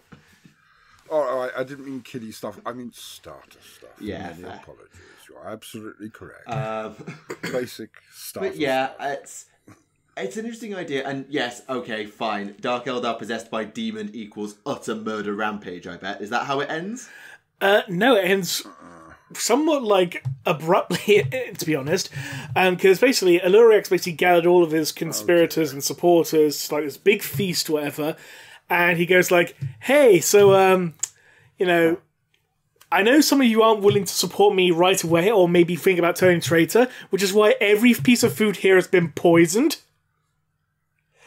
Um, but the poisons aren't detectable because they're, each poison is designed to interact with another piece of food. So what you've been eating if you have been eating the right things, you'll be fine. If not, you're gonna mm-hmm. die. And one Archon explodes, one Archon turns into a statue, one Archon has a seizure that's so bad he literally folds himself in half and rips himself into pieces. Mm-hmm. you know, proper, proper, you know, Drukhari stuff. Um, and as they're basically, you know, making the final preparations, um, the oh, world singer who's now basically been chained to El'Uriaq's throne. You know, she goes like, "Hey, um, yeah, I, am I'm, I'm going to sing you a song in in honor of you, uh, Eluriac." And he's like, "Okay, go on then." So she sings a song, and um, yeah, it turns out um, now everyone's now affected with glass plague. Yeah, yeah, yeah. it's like, oh, so everyone's now a fucking statue. Whoops. Well, oh, I mean, it wouldn't be the Drukhari without everyone getting backstabbed at least five hundred times. That's. There's some interesting um, scenes. Like there's a little subplot of these um, two homunculi basically trying to one up each other, hmm. and one of them basically like um, yep. gets hold of this um, little device that temporarily opens a warp rift, like literally within a split second, to basically have demons kill everything in the room within a second and he tries to offer to this other homunculi as a gift, and the other homunculi is like, "Yeah, um, I'm not going to buy a shit." Uh, you, you, see this piece of glass I'm holding? Yeah, yeah, okay. Um, th- do you know what this is? It's a shatter shatter shard. Do you know what happens if your reflection's caught in it and I break this glass? You break too. Smash. I love the way they use a lot of very, very old English magic in that kind of thing and mythology yeah. to really show the horror of, of what that kind of magic does, etc. Uh, it's just, yeah, it's just really oh. good fun. And it actually, it's it's quite nice. Well, I I saw the TTS short of Russ bullying the Drukhari. Um, oh, I haven't seen it yet. Don't tell me. Don't right, tell me. Fine. Let's just say that. Sorry. Whilst it's not on the level of Path of the Renegade, it's creepy in a very good way. Oh, Frederick's in isn't he? Uh... As one of the Drukhari, I'm pretty sure he is. I thought Frederick. No, Frederick played Eldrad, not Vect. Sorry, wrong around. Uh, he might be. I forget the credits. Of the he, he was. Al- he was also the um, the one in the red armor, the Drukhari in the red armor. I think it was. Oh yeah, yeah, yeah, yeah. With yeah. the pirate voice. Yeah, enough said about that guy. yeah, I don't. I'm not spoiling anything. I'm not said about that guy. No, I'm. I'll, I'm looking forward to this now. Yep, thank you very much. I'll yeah, watch it later. It's, it's fun. Um, yeah. So yeah, fair enough. Um, I think the Drukhari novels, particularly, are your thing or they're not your thing. I think. Uh, I, they sound I, really cool, but I don't know if I could sit through one. I'd recommend this one. It's actually a pretty fun book, to be fair. Have you read either of the other two, or is this the one, the first one in the list? This is the first one in the series. Right. But I would recommend it. It's actually a pretty good book. Fair. Also, also interesting side note. Um, apparently orcs need sunlight to live. Pardon? Yeah. When when when did when did this happen? In in this book, it mentions about how you know about an orc like trapped without sunlight, you know, basically becomes really weak. So. Photosynthesis, mother trucker. Uh, mm, yeah. Proper plant boys. Mm, okay. Okay. Fair enough. So they've confirmed that they now believe that photosynthesis is, is why how they get their energy then. Well, it's partially at least. Uh, well, yes, yes, yes, Oh, well, fair. I mean, there are some worms that have uh, photosynthesis. do, do, the orcs know this? Probably not. Um, well, actually, actually no, I mean, they probably do. Wait, the evil suns is a thing that go fast, so you go fast when you have more kinetic energy. Wait, what if this is an entirely a massive long con? oh dear. Yep, fair enough. It, it probably is. It's like you know that whole thing about the Alpha Legion being a double cross Legion and then Legion twenty, which is two X's. Yeah. Mm. GW are yep. very good at references yep. that pay themselves off in the subtlest ways. Oh, speaking speaking of not subtle references, I have to point this out because it was something that made me cringe so fucking hard. So, oh, no. um, so Warhammer Community put an article about you know languages in the Underhive the other day, oh, and oh, yeah, and some of the languages that Van Saar use, like they have a language called Technical and not only that, but they use words such as, quote, hashtag, which means everything I say is now connected. And I'm like, for fuck's sake, do you really give the Van Saar have Van Saar use hashtag in their languages? What the fuck?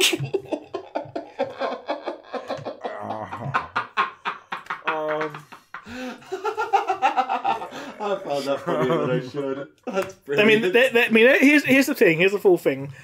It's just like you know these. It's a form of ancient Terran using words such as "does right" to, denote, to denote someone speaking true, and "hashtag," a word that can mean everything I say is now connected, or "heed my words, for they carry great import." or not.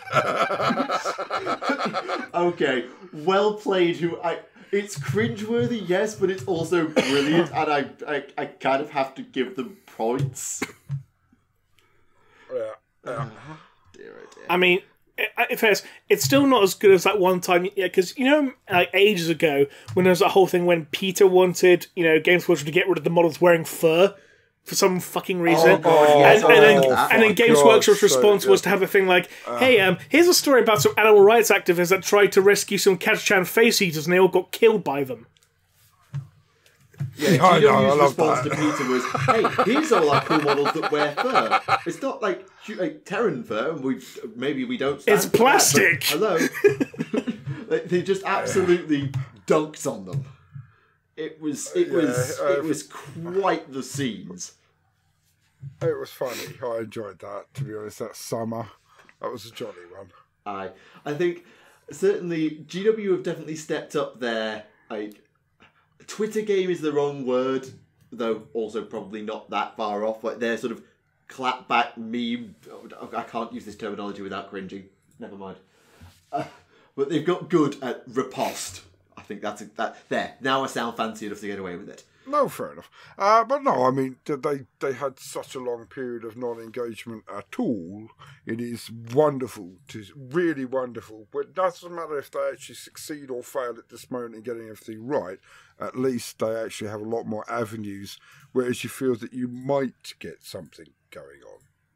Might. Yeah at least the doors, their ears are open. Whether they actually listen to anything or not is another matter, and that's all down to someone's perspective, isn't it? On whether they get yeah, what they want or not. oh, hey, here's Primaris Pikers. We know you wanted those. Oh, hey, here's Sisters of Battle. We know you wanted those. well, although that's true, it's also the assumptive sale. So yeah. True, true, true.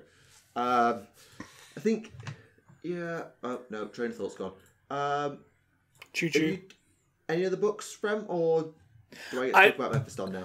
Uh, I started reading um, Emperor's Re- uh, so Regent Shadow, but I have I've only gone through ch- chapter one, so you might as well talk talk about um, City of Light.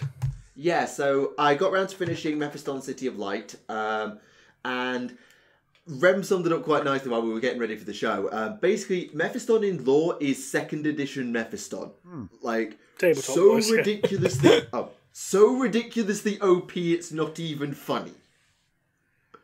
So, when Mephiston, this takes place post Primaris, hmm. so Mephiston has now been Primaris in this book, um, and it makes reference constantly to the fact that his soul has been split in yeah. three. So there was Calistarius, the original. There was Mephiston, that was born on Armageddon when he went Black Rage and yep. came back again. Of course. And there's this third part uh-huh. that was created when he was Primaris on the Rubicon. Because, again, indeed. he died there and it plays up this tripartite soul a little bit, and it tries to set up that basically Mephiston yeah, is the enough. doom of the Blood Angels. It's almost sort of what they mm-hmm. what they want you to think is that Mephiston is the doom of the Blood Angels. The way Mephiston sees it is he is carrying all the hell of the Blood Angels on him to save the Blood Angels from ever having to deal with it. Mm. And whilst I haven't read Darkness in the Blood, I would be intrigued to see, since it's called Darkness in the Blood, whether they make reference to that in that particular novel and how well they cross over between the Hinks books and the Haley books. Um, because obviously, Haley's is Dante and Hinks is a Mephiston, but they cross over quite a lot. Mm. Um, so the book is centered, uh, or the book part of the book that I'm on, uh, I got to. So we talked in the previous episode about the mind jacking Eldari um, to make them mm. kill each other and stuff, uh, which was cool. Um, so they land in the uh, in this place like this, through this webway portal to go and find a way through the Cicatrix Maledictum using um, basically the webway, and they get ambushed by Harlequins pretending to look like um, Chaos Space Marines to trigger the Black Rage, which, or at least trigger the Thirst, and it takes hmm. they have to realize, wait, hang on, we're not hallucinating about Horus, we're just being mind tricked, and so they have to fight their way out of it, which is quite interesting. And mm-hmm. Mephiston basically goes all magician on this Harlequin. He's like, "Oh, you want to stab me with this like super awesome weapon? Yeah, it's already in my hand oh, you, you don't want to take us through the webway? Yeah, I have this super important relic and I'm going to smash it if you don't do what I tell you to. And so on and so forth. Um, so they get to the world that sort of is the primary focus of the battle, where essentially what's revealed at the end is a demon of Tzeentch, um, I think it might be a demon prince, I forget, is trying to reactivate nine silver towers, um, known to the locals as the Brothers, these mountains. Um, so there are nine mountains, and they're all silver towers, but no one knows it. Um, and you watch the guard, the local PDF guard regiment, go from uh, putting down rebels to half of them being traitors and being cultists, and then they all get sacrificed, obviously, because chaos is evil and has to be shown to be evil because chaos is fundamentally evil. Um, and then it's the Blood Angels come in afterwards, and Mephiston goes up to this general and is like, "You, tell me, and he sort of hijacks this general's mind to stop him going insane. Um, so he's sort of like, right, I'm going to put a shield there. You're now not going to go insane from all the chaos stuff. You're just going to tell me about the chaos stuff, and at some point you are going to snap. In it, it might be in ten minutes, it might be in twenty years. You're going to snap and die, and it's going to be horrible. But I need you right now, so I'm going to do this. Yeah, Mephiston's not nice. Um, so they go into the Silver Tower, and essentially or into, into one of these silver towers, and the demon runs off. But they're also caught in an ambush. Now, Mephiston's shown earlier in the book that he can essentially step out of time. So, sort of, not pause yeah. time, but sort of take himself out of the time stream and spend ages there. Um, so, what he does while in the time stream is he has to s- save the Blood Angels from being mm. annihilated by this Thousand Suns ambush and chase this demon down and also stop this device from turning to prevent the towers from activating. I think you can see where mm-hmm. this is going. Yeah, he breaks himself so, into three. So he, yeah. he does. Yeah. He puts his soul on the device mm-hmm. to stop it from spinning. Mm-hmm. He puts his mind into the head of his like other librarian to try and guide him through what's about to happen. Hmm. And he sends his body which basically looks like a blood demon, and like all the people who he encounters afterwards think he's a demon of Khorne, and he sends him to Sortiarius. Um, Because the demon has run off to Tizca. Not Prosper and Tizca, Sortiarius is Tizca. I know, there's two. It seems like there's two of them. Uh, but the Sortiari is Tizca. Okay. And this Mephiston doesn't have his mind, doesn't have his soul. He's just consumed with. It's basically he he is the Black Rage personified at that point. He barely knows who he is. He's constantly forgetting who he is, forgetting why he's there. But and he looks like a blood winged, blood formed demon of hell. And it's brilliant. And he gets his way into Tizca, and the demon thinks he's got him because this other librarian, Antros, has been playing a big part in the book and is a big part of the series actually. And he's sort of accidentally been turned by this Tzeentch demon to be used as the conduit because this librarian is also slightly OP. Not as OP, but also slightly OP. So he goes off on his own to go and find another Silver Tower against Mephiston's orders. Um, and he gets there, and the demon says, Right, got you now and he uses Mephiston to try and power up the towers, and the librarian to sort of focus it and also power it up a bit more. And he's got him. He's he's got he thinks he's got Mephiston. All ends up, bang bang. There you go. Nine silver towers. Everyone's doomed. Except Mephiston told the librarian about this staff, this antique staff that he's also cracked at some point during the book. And he says, "Put your trust in person whose staff this used to belong to," and he does. And all of a sudden, well, we don't see what happens, but in the next chapter, the demon goes sauntering up to Magnus in Tizca, bold as brass, saying, Look at what I did! I activated all your silver towers, I tricked the Blood Angels, and Magnus is just like, No, you didn't. You blew them up. You, you destroyed them. you were done in. Mephiston tricked you. So you now are going to be sent up into the ceiling and you're going to sing a song of doom forever and be tortured forever in Magnus's throne room. Womp womp, indeed. And so the librarian is now dead. Dead, dead. Not like, oh, oh, he needs the Rubicon dead. No, he's actually dead. Well, it's nice that they um, still snuff it. Then. And sorry, I was hmm? just saying, it's nice that someone snuffs it then. Quite so.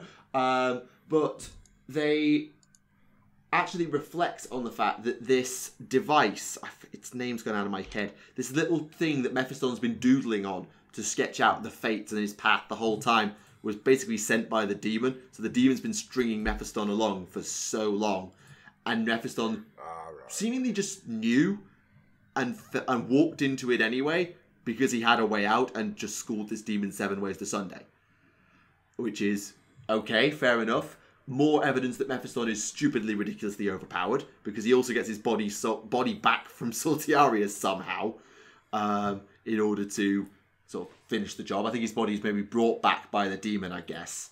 Um, it's it's a bit crazy, and I'd have to read it another time just to make sure I've got all the facts straight. But basically, Mephiston is stupid OP, like stupid, stupid, stupid OP, and is also setting it is also been set up as either the salvation or the just the annihilation or of the both. blood angels all in one. Yeah, probably both.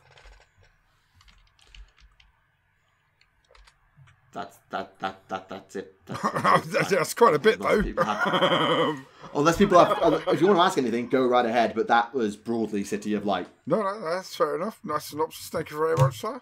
That's another one I don't need to watch yet. Um, I, I, still think it's. I, I haven't actually read the uh, the first Mephiston book. I've read Revenant Crusade and City of Light. I never got a chance to read the first one, um, which probably set up a lot of things that they paid off in City of Light that I didn't notice. Um, but yeah. between Revenant Crusade and City of Light, they were books I wanted to read for a long time, and they are really good. I'm not actually that up on Darius Hink's work aside from the Mephiston books. I know he does is it Blackstone? He writes the Blackstone novel, doesn't he? He did, yeah. Yeah. So I'm not as up on his work, but it's really good. Um, certainly, if you've got a, a, character as powerful as Mephiston, it helps. Um, but now I definitely want to go and find and read Darkness in the Blood. Um, Good luck. So I think it's only the limited edition that's out at the moment. So yeah, which is not great. Uh, but eventually, I'd like to get my hands on it so that I can sort of try and take what I now know of the Mephiston novels and from the Dante novel and Devastation of Baal and see how much they cross over with the darkness in the blood, presumably being Mephiston himself. But yeah, that that was that. Fair enough. What about you, What about you, Bourne? You read anything? Uh, strangely enough, I'm all the way back to Horus Rising, a Master of Man. Um, it's it's a bit strange going back to Horus Rising, but I'm really enjoying it. Is it the uh, physics textbook version? No, no, no, no, no, no. this is the been through the bath about five times. That's where I do all my reading. Um, version. Honestly, it's wrinklier than I am, which is saying something. Uh, it's, a, it's a lovely little thing, but something I, I'd never really thought about before. Uh, you know, the other emperor, the one who gets killed, as one does, because otherwise they can't say, yes. I was there today. Horus slew the emperor. He does state all of the way through, well, in that small element that he, he not, not his line, he um, saw that, that, that small area through the entirety of the Age of Strife. I was going to ask Rem, actually. You know bloody everything. And thank you very much for all of your sight, sir. Um, but have have we ever actually mentioned him being a, um, you know, perpetual? I don't think it's ever been mentioned, as far as I'm aware. Mm. I just found it really weird uh, when I read it again. I was like, yeah. wait a second. He's not talking like, you know, my genetic line, my, my forebears or anything else. I, I have seen everything through. Uh, you know, this this people, these people through this entire period. So I just thought I'd chuck that question, boss. I need to I need to double check that actually because because that's so much I've actually probably missed. It's probably something you, you, you just really just don't pay any attention to it at that point in time, and you're like, hang on a minute. Yeah, that's five thousand that, years. It. I mean, I, I, I, I, I, can't tell you how many times I've started reading Horus Rising, how many times I've finished it. Not quite the same, obviously, but um, it was the very, very first time I went. Wait a minute. So, yeah. So is just to, just to remind me and remind the audience, is the leader in Horus Rising just supposed to be a bloke? Are they just a bloke? It's the first of the Horus heresy books, and obviously it's concerning Horus. Hmm, but I mean, uh, is this emperor that you're referring to the one who's seen them through Old Night? Is he just? Oh right. Well, it doesn't say. He is the emperor of an advanced, and he believes himself to be the emperor of mankind. And he does of the Imperium. Uh, you know, not no, mm, and, and he said that he, he has seen that this this this area through that period, through all of the way through old, all old night and the age of strife. I have protected it so others can come back and return to the bosom. So I just thought that was a bit strange myself. And again, it's the first time I've ever noticed so, it. I went, wait a minute. Possible theories then. Um, so just yeah. before we can really just initial theories. One, exceptionally advanced medical technology allowing a person to live theoretically forever. Non uh, human life can be very much prolonged in the 40k universe, but 5k is probably pushing it. Second, he's talking bollocks. Second, talking yes, rubbish. Yeah, the bollocks factor. Yeah, I could absolutely be talking rubbish. Third is some form of not actually human. Oh, I was I was going to yep. say maybe it's like you know it's like probably like one of those things where like whenever the quote emperor dies, his successor takes his place and identity, but just believes he is himself, and no one outside of him knows that the emperor's been replaced, kind of thing. Could be. Um, I had a sort of a Mortarion's dad situation in my head of a being from another world ruling over quietly.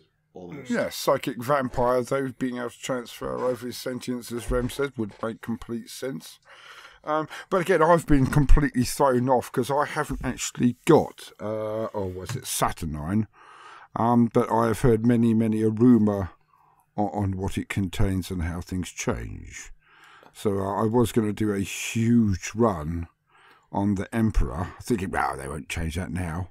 I, I mean, you can always you know, add a thing about the Emperor's, um, well, one of one of his previous names, at the very least. Yeah, um, there are several episodes of the podcast that contain spoilers. Yeah.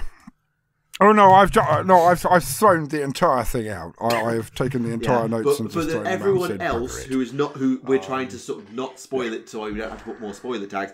There is an entire like section of several episodes of podcast where we talk about Saturnine. So if you want to know what we're on about, you can oh, check you those. Ah, I'll go and yeah, yeah, I will go and check that out instead. My mistake. No, it's fine. Um, we do t- we do try and label spoilers when they come up, but just for the sake of not having to do it here, it makes sense not to repeat ourselves when we've already said it. I mean, suffice to say, that book has given me, you know, a couple of ideas for future topics. Though I'm I'm not actually going to work on them until the actual book itself is at mass market release. You know, out of the cur- out of courtesy, really. Yeah, yeah that, that, that it might nice. even be worth. Because I can't, I can't. For, for, yeah, I can't get a copy yet. Yeah, I mean, for, so. for something as a major, because it, it it does delve into a very major spoiler. Like, if it's like, if it's in regards to books that are out in limited edition release, but not mass market release, and it's something very, very minor, I will add them, but put like a little addendum saying minor spoiler. Mm because obviously if it's not something that's affecting to the plot, if it's just like a bit of information saying like, "Hey, Abaddon had a had a dad," you know, that's not really a major spoiler, even though it is mentioned in novel. yeah, it's it's a spoiler, but it's not really groundbreaking. It, it's it's like one of things like, huh, I mean, it's not like a turn around and said like you're not you know, spoiling much. Like, yeah. Rogal Dorn punched Vulcan in the face with a cream pie or something. I don't know, you know, kind of thing. That'd be kind of a huge spoiler type thing. and end up setting yeah. Malcador on fire because you know Vulcan can't cook. I don't know. Um, Fair enough. Malcolm yeah. just sitting there in his robes going, This is fine. Hmm. To be fair, I probably wouldn't even mention this stuff until the siege is over because obviously each book has been dropping bombshell after bombshell after bombshell after bombshell.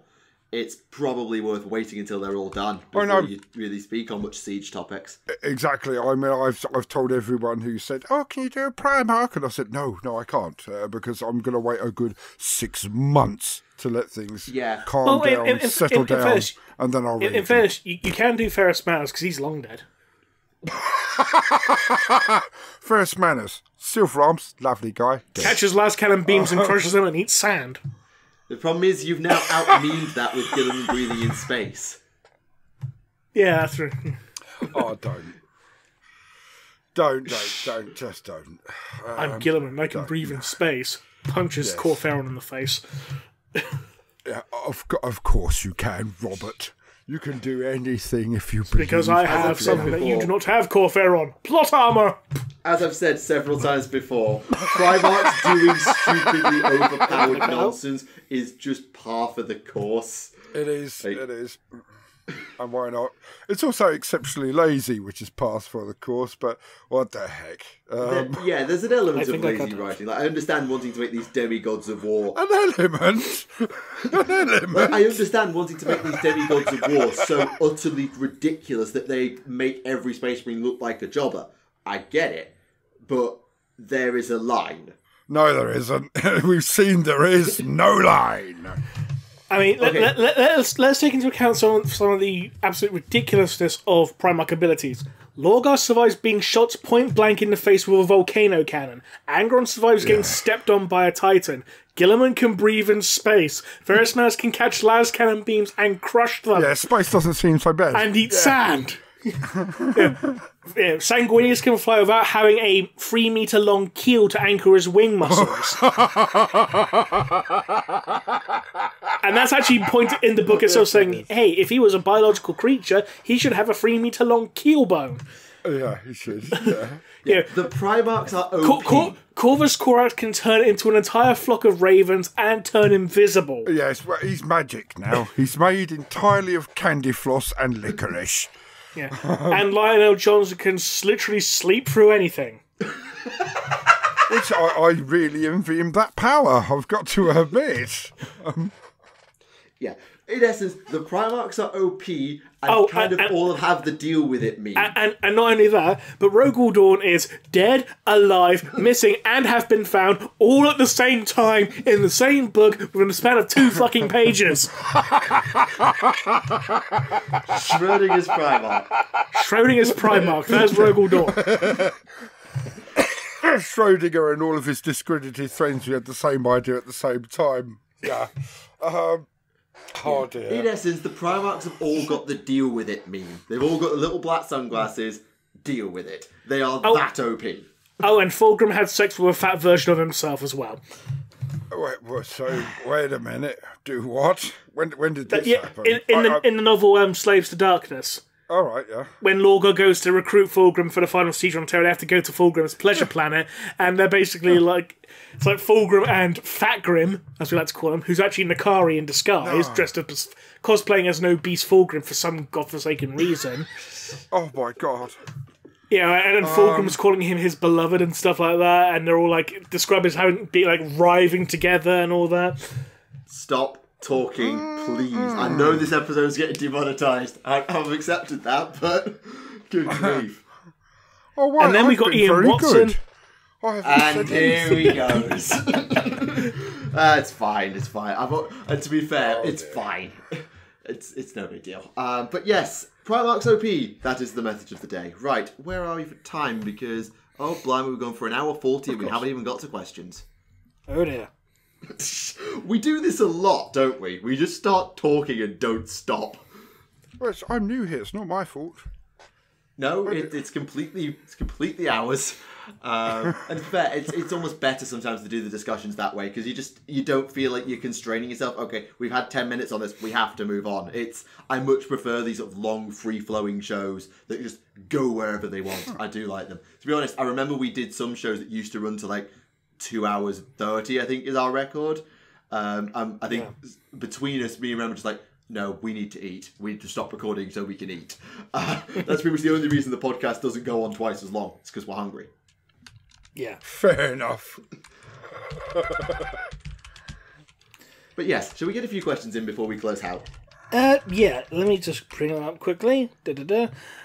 Um, with the Necrons getting a range refresh, which of the Xenos or Chaos rays do you feel deserves a similar refresh? Not mentioning the Imperium because they get new models every few weeks. Neds. Hmm. Neds, are you insane? Those are gorgeous models, Eldar. Oh yeah, Craftworld is a good shout. I think the reason I say Nids is like things like Gaunts, the Carnifex, get they're gorgeous, but the they, I don't know. I, I think there's certain models in um, that range that do need an upgrade. Khorne Berserkers, they need redoing yeah, they completely. are plastic. Yeah, but, but they, they are... Xenos. They said Xenos and Chaos. Sorry, say oh, again. Oh, yes. Yeah. Sorry. So I, am going to go Khorne Berserkers because it's still the, the third edition models. Yeah, that's not good. It's, it's not a yeah, good look. I think yeah, for a full range reboot, Craftworlds actually might be better. Nids is my impulse response because I feel like Gaunts could do with an upgrade, uh, in particular. Um, but they're plastic. Um, you know, they are modern.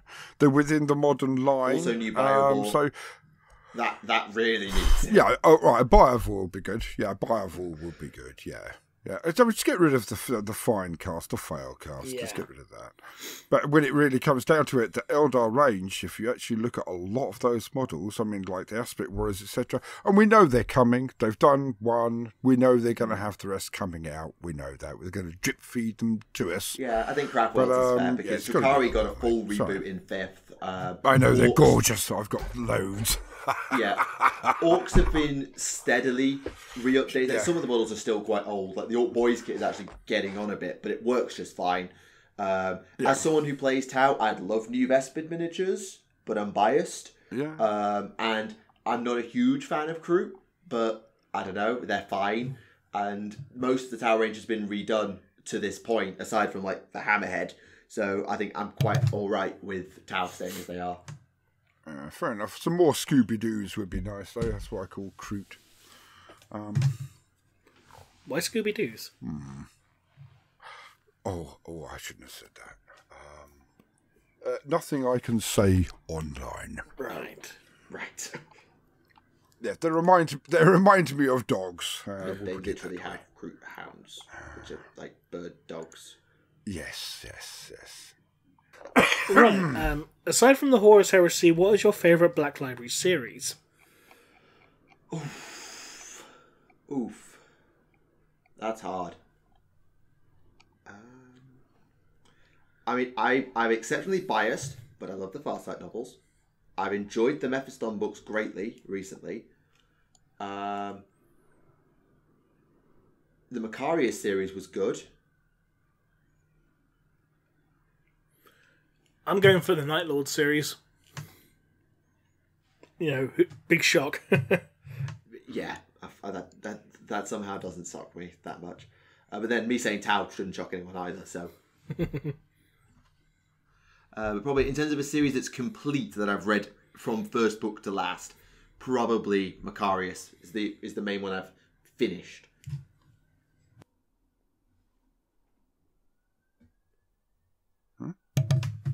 What about you, Baldermort?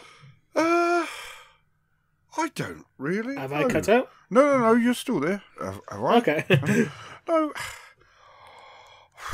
I always find these questions rather depressing. It's like a Sophie's Choice scenario.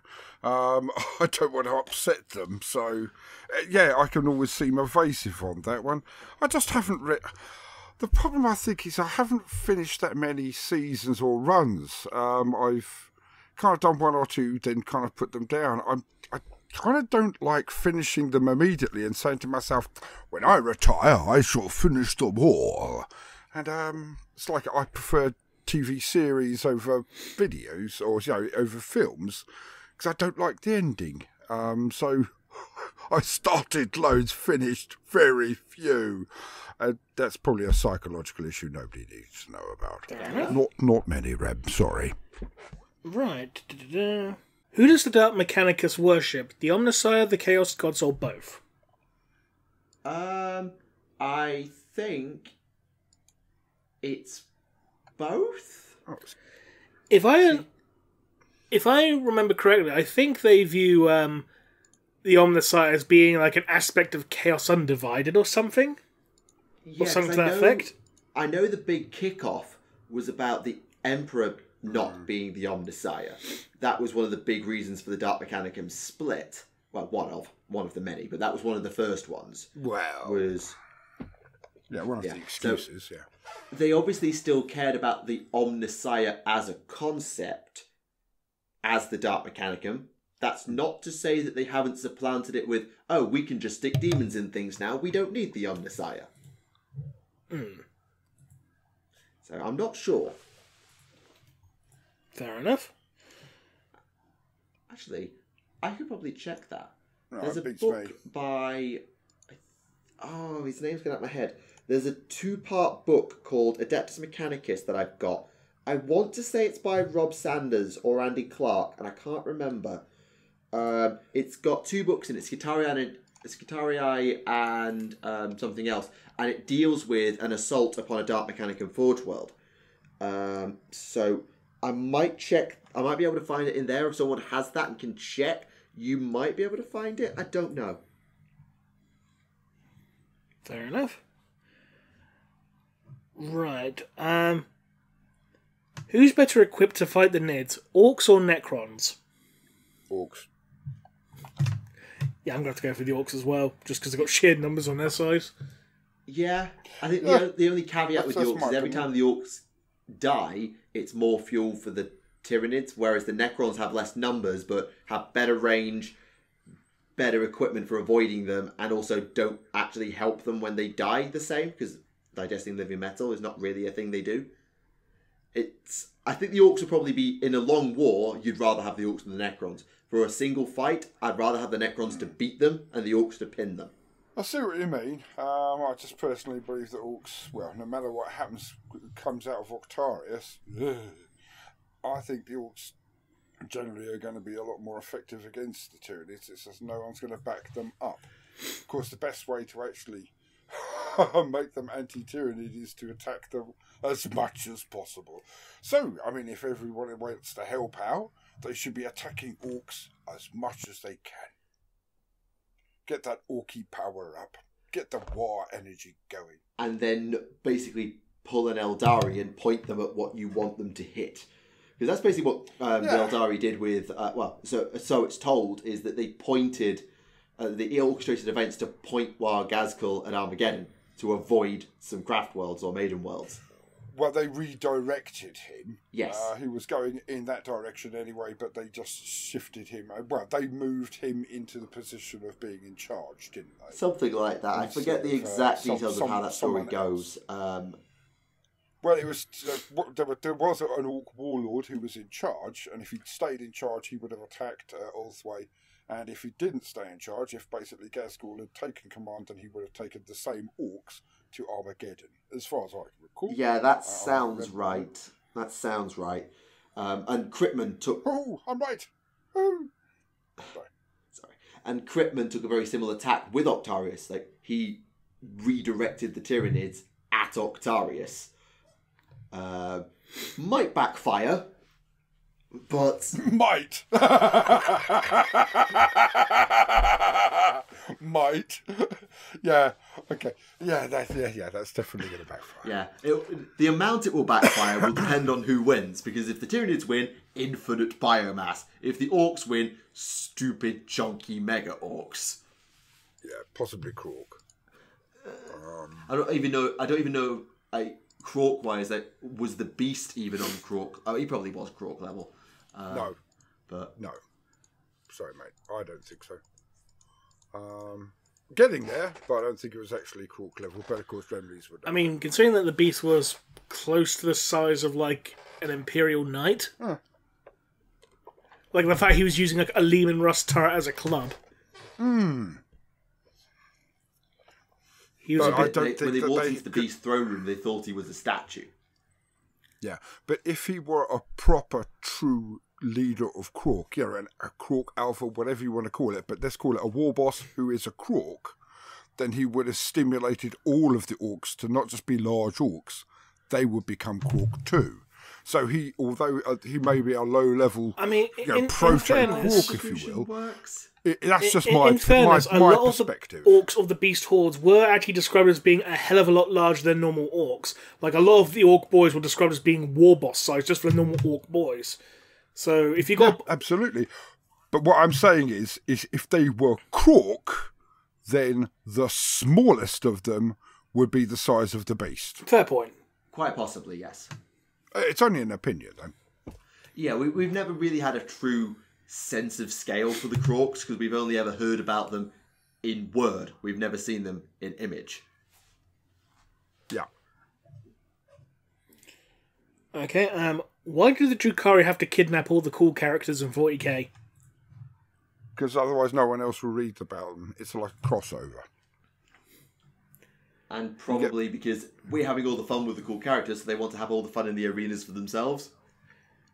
I mean, I mean, someone replied saying because they don't have any cool characters of their own. Uh, that's well in rules, maybe uh-huh. in lore. Oh my god, their characters are awesome. Yeah, well, they took a load of our characters out at the end of fifth, didn't they? What I'm not moaning about. Yeah, Sliscus, Sathonyx, Malys, Vect. No, no, I think actually, I think maybe maybe not in ninth, maybe hopefully in ninth. I think we're going to see Vect back. I hope. Yeah, it, it, now that they've proved they can do super mega character with Szarekh, I think we might get Vect back. Yeah. Like full on Dark Muse Vect. I think we've all been saying that. But um, again, I, I think there's no hope worse than false hope. I don't think I'm going to get my Vecti. Uh, I, mean, I, would. I, would. I, I sort of see it as we've got two types of hope: Bob Hope and No Hope. Mm. But I'd rather it would be cool to see. Yeah. Oh no, it would be absolutely magnificent. They've got the skill, they've got the talent. Do they have the interest? That's the question. We'll see how the Silent King sells, I guess. Hmm. Okay. Uh, oh god, why does blue internet have to be so slow? so it's taking a while to load up. All right. Welcome to my world every day. 16 hours to upload a lesson video. Oof. Why are so many factions in the Imperium, such as the Mechanicus, Inquisition, Dark Angels, Stratum, and several Space Marine chapters, concerned about the power and influence of Ultramar? Um, it will depend on the faction as to why they have problems with the Ultramarines.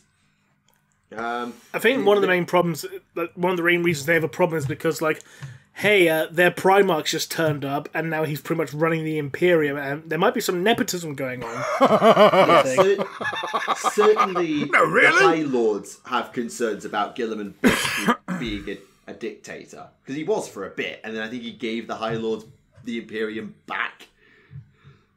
Because he didn't he abolish the Senatorum for a bit. He appoint he appointed um, new High Lords, from what I recall.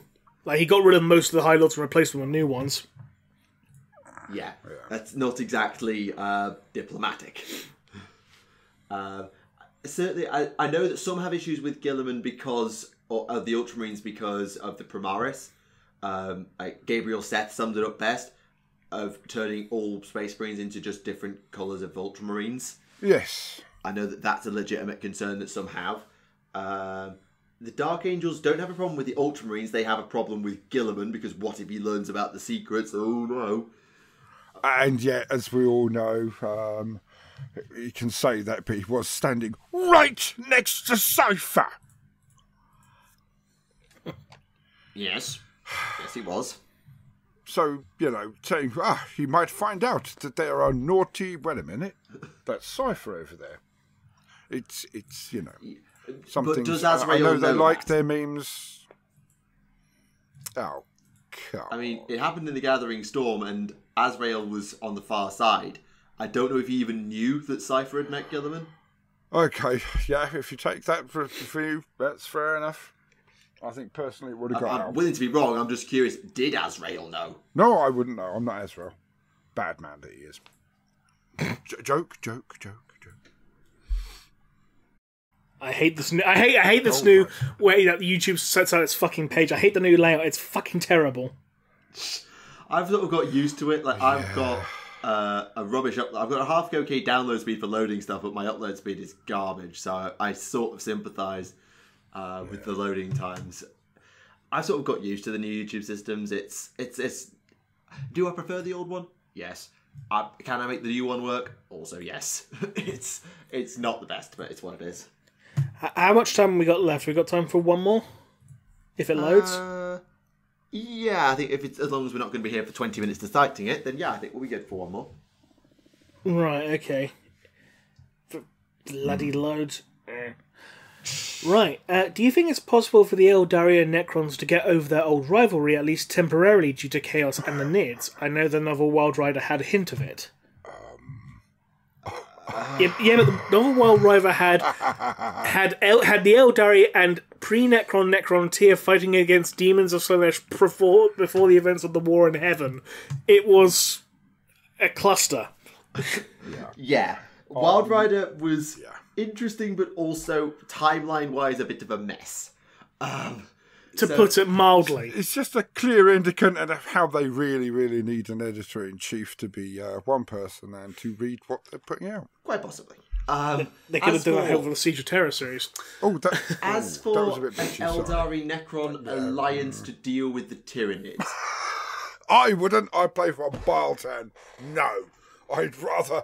I'd, no. I mean, the Aeldari are not exactly known for not being petty about things.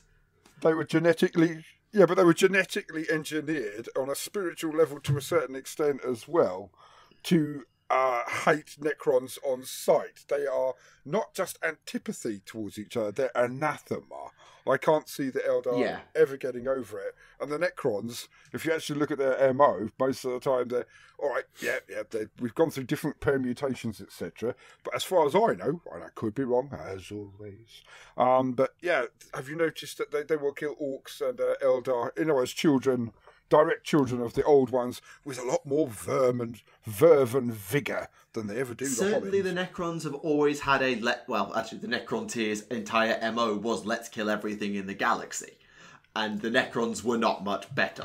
Well, the, the, ne- the Necrons ammo was basically depending on the edition, because like in third edition, it's like, hey, we're, we're, we're going to start a war with you because you're not going to give us the secrets to immortality because you could just let us stay yeah. here on this one world where we're being cooked to death by our own son. St- still the same. And the old one's like, nah, fam, we're good. It's still the same according to the Codex, though.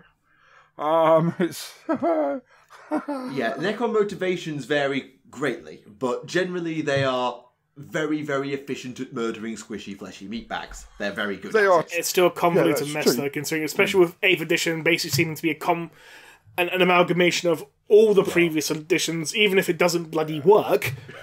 That's true.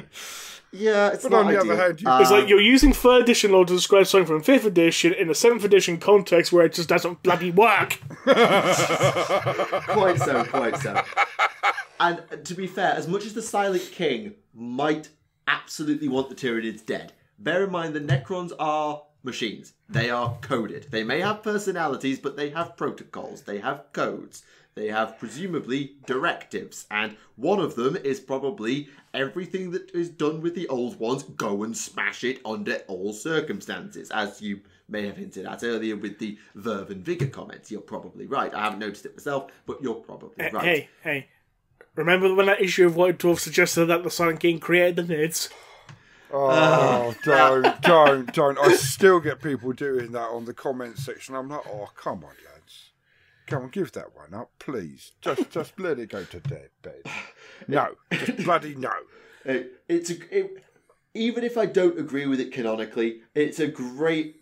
It's such a classic story of the creator being turned on by having to destroy their creations because they went too far.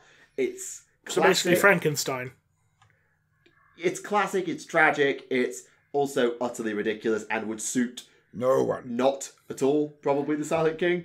Um, but it, it's classic, it's tragic, it's completely batshit insane. It makes no sense in the context of the law, therefore it's perfect for 40k.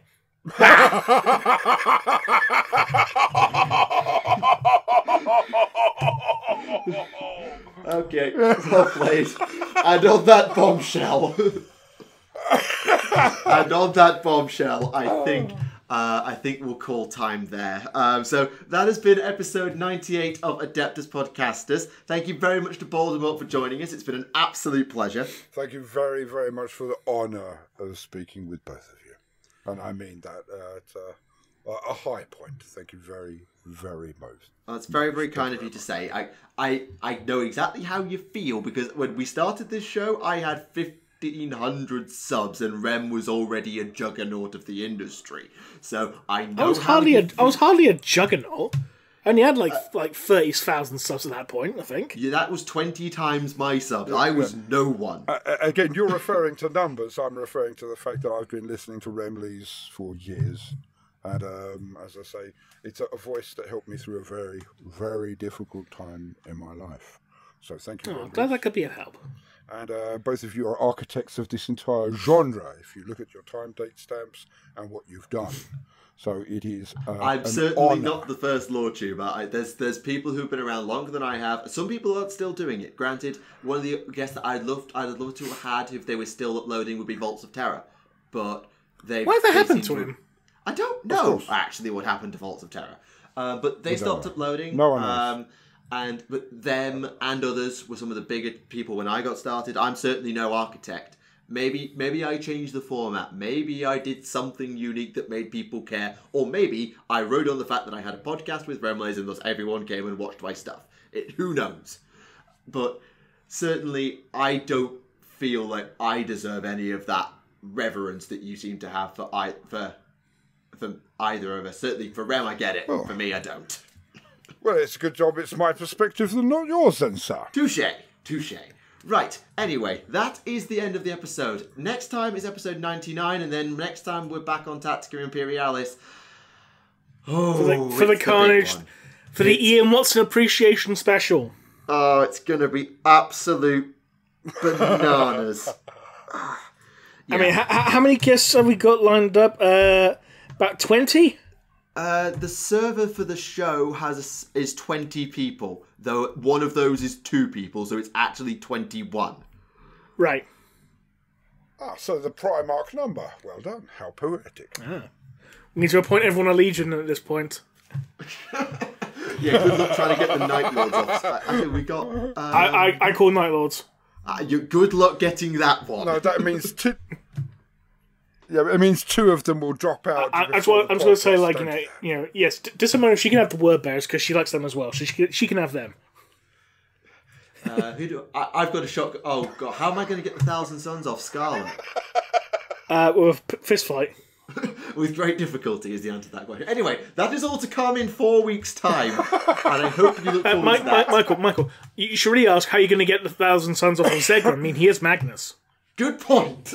I didn't want to give too much away. That was all. That's all But I'm yes. going to give. yeah. So look forward to that on the channel in four weeks' time. And in two weeks, we've got this, the calm before the storm um, with Rem and I. We're going to have episode 99. Look forward to that, and I hope to see you there.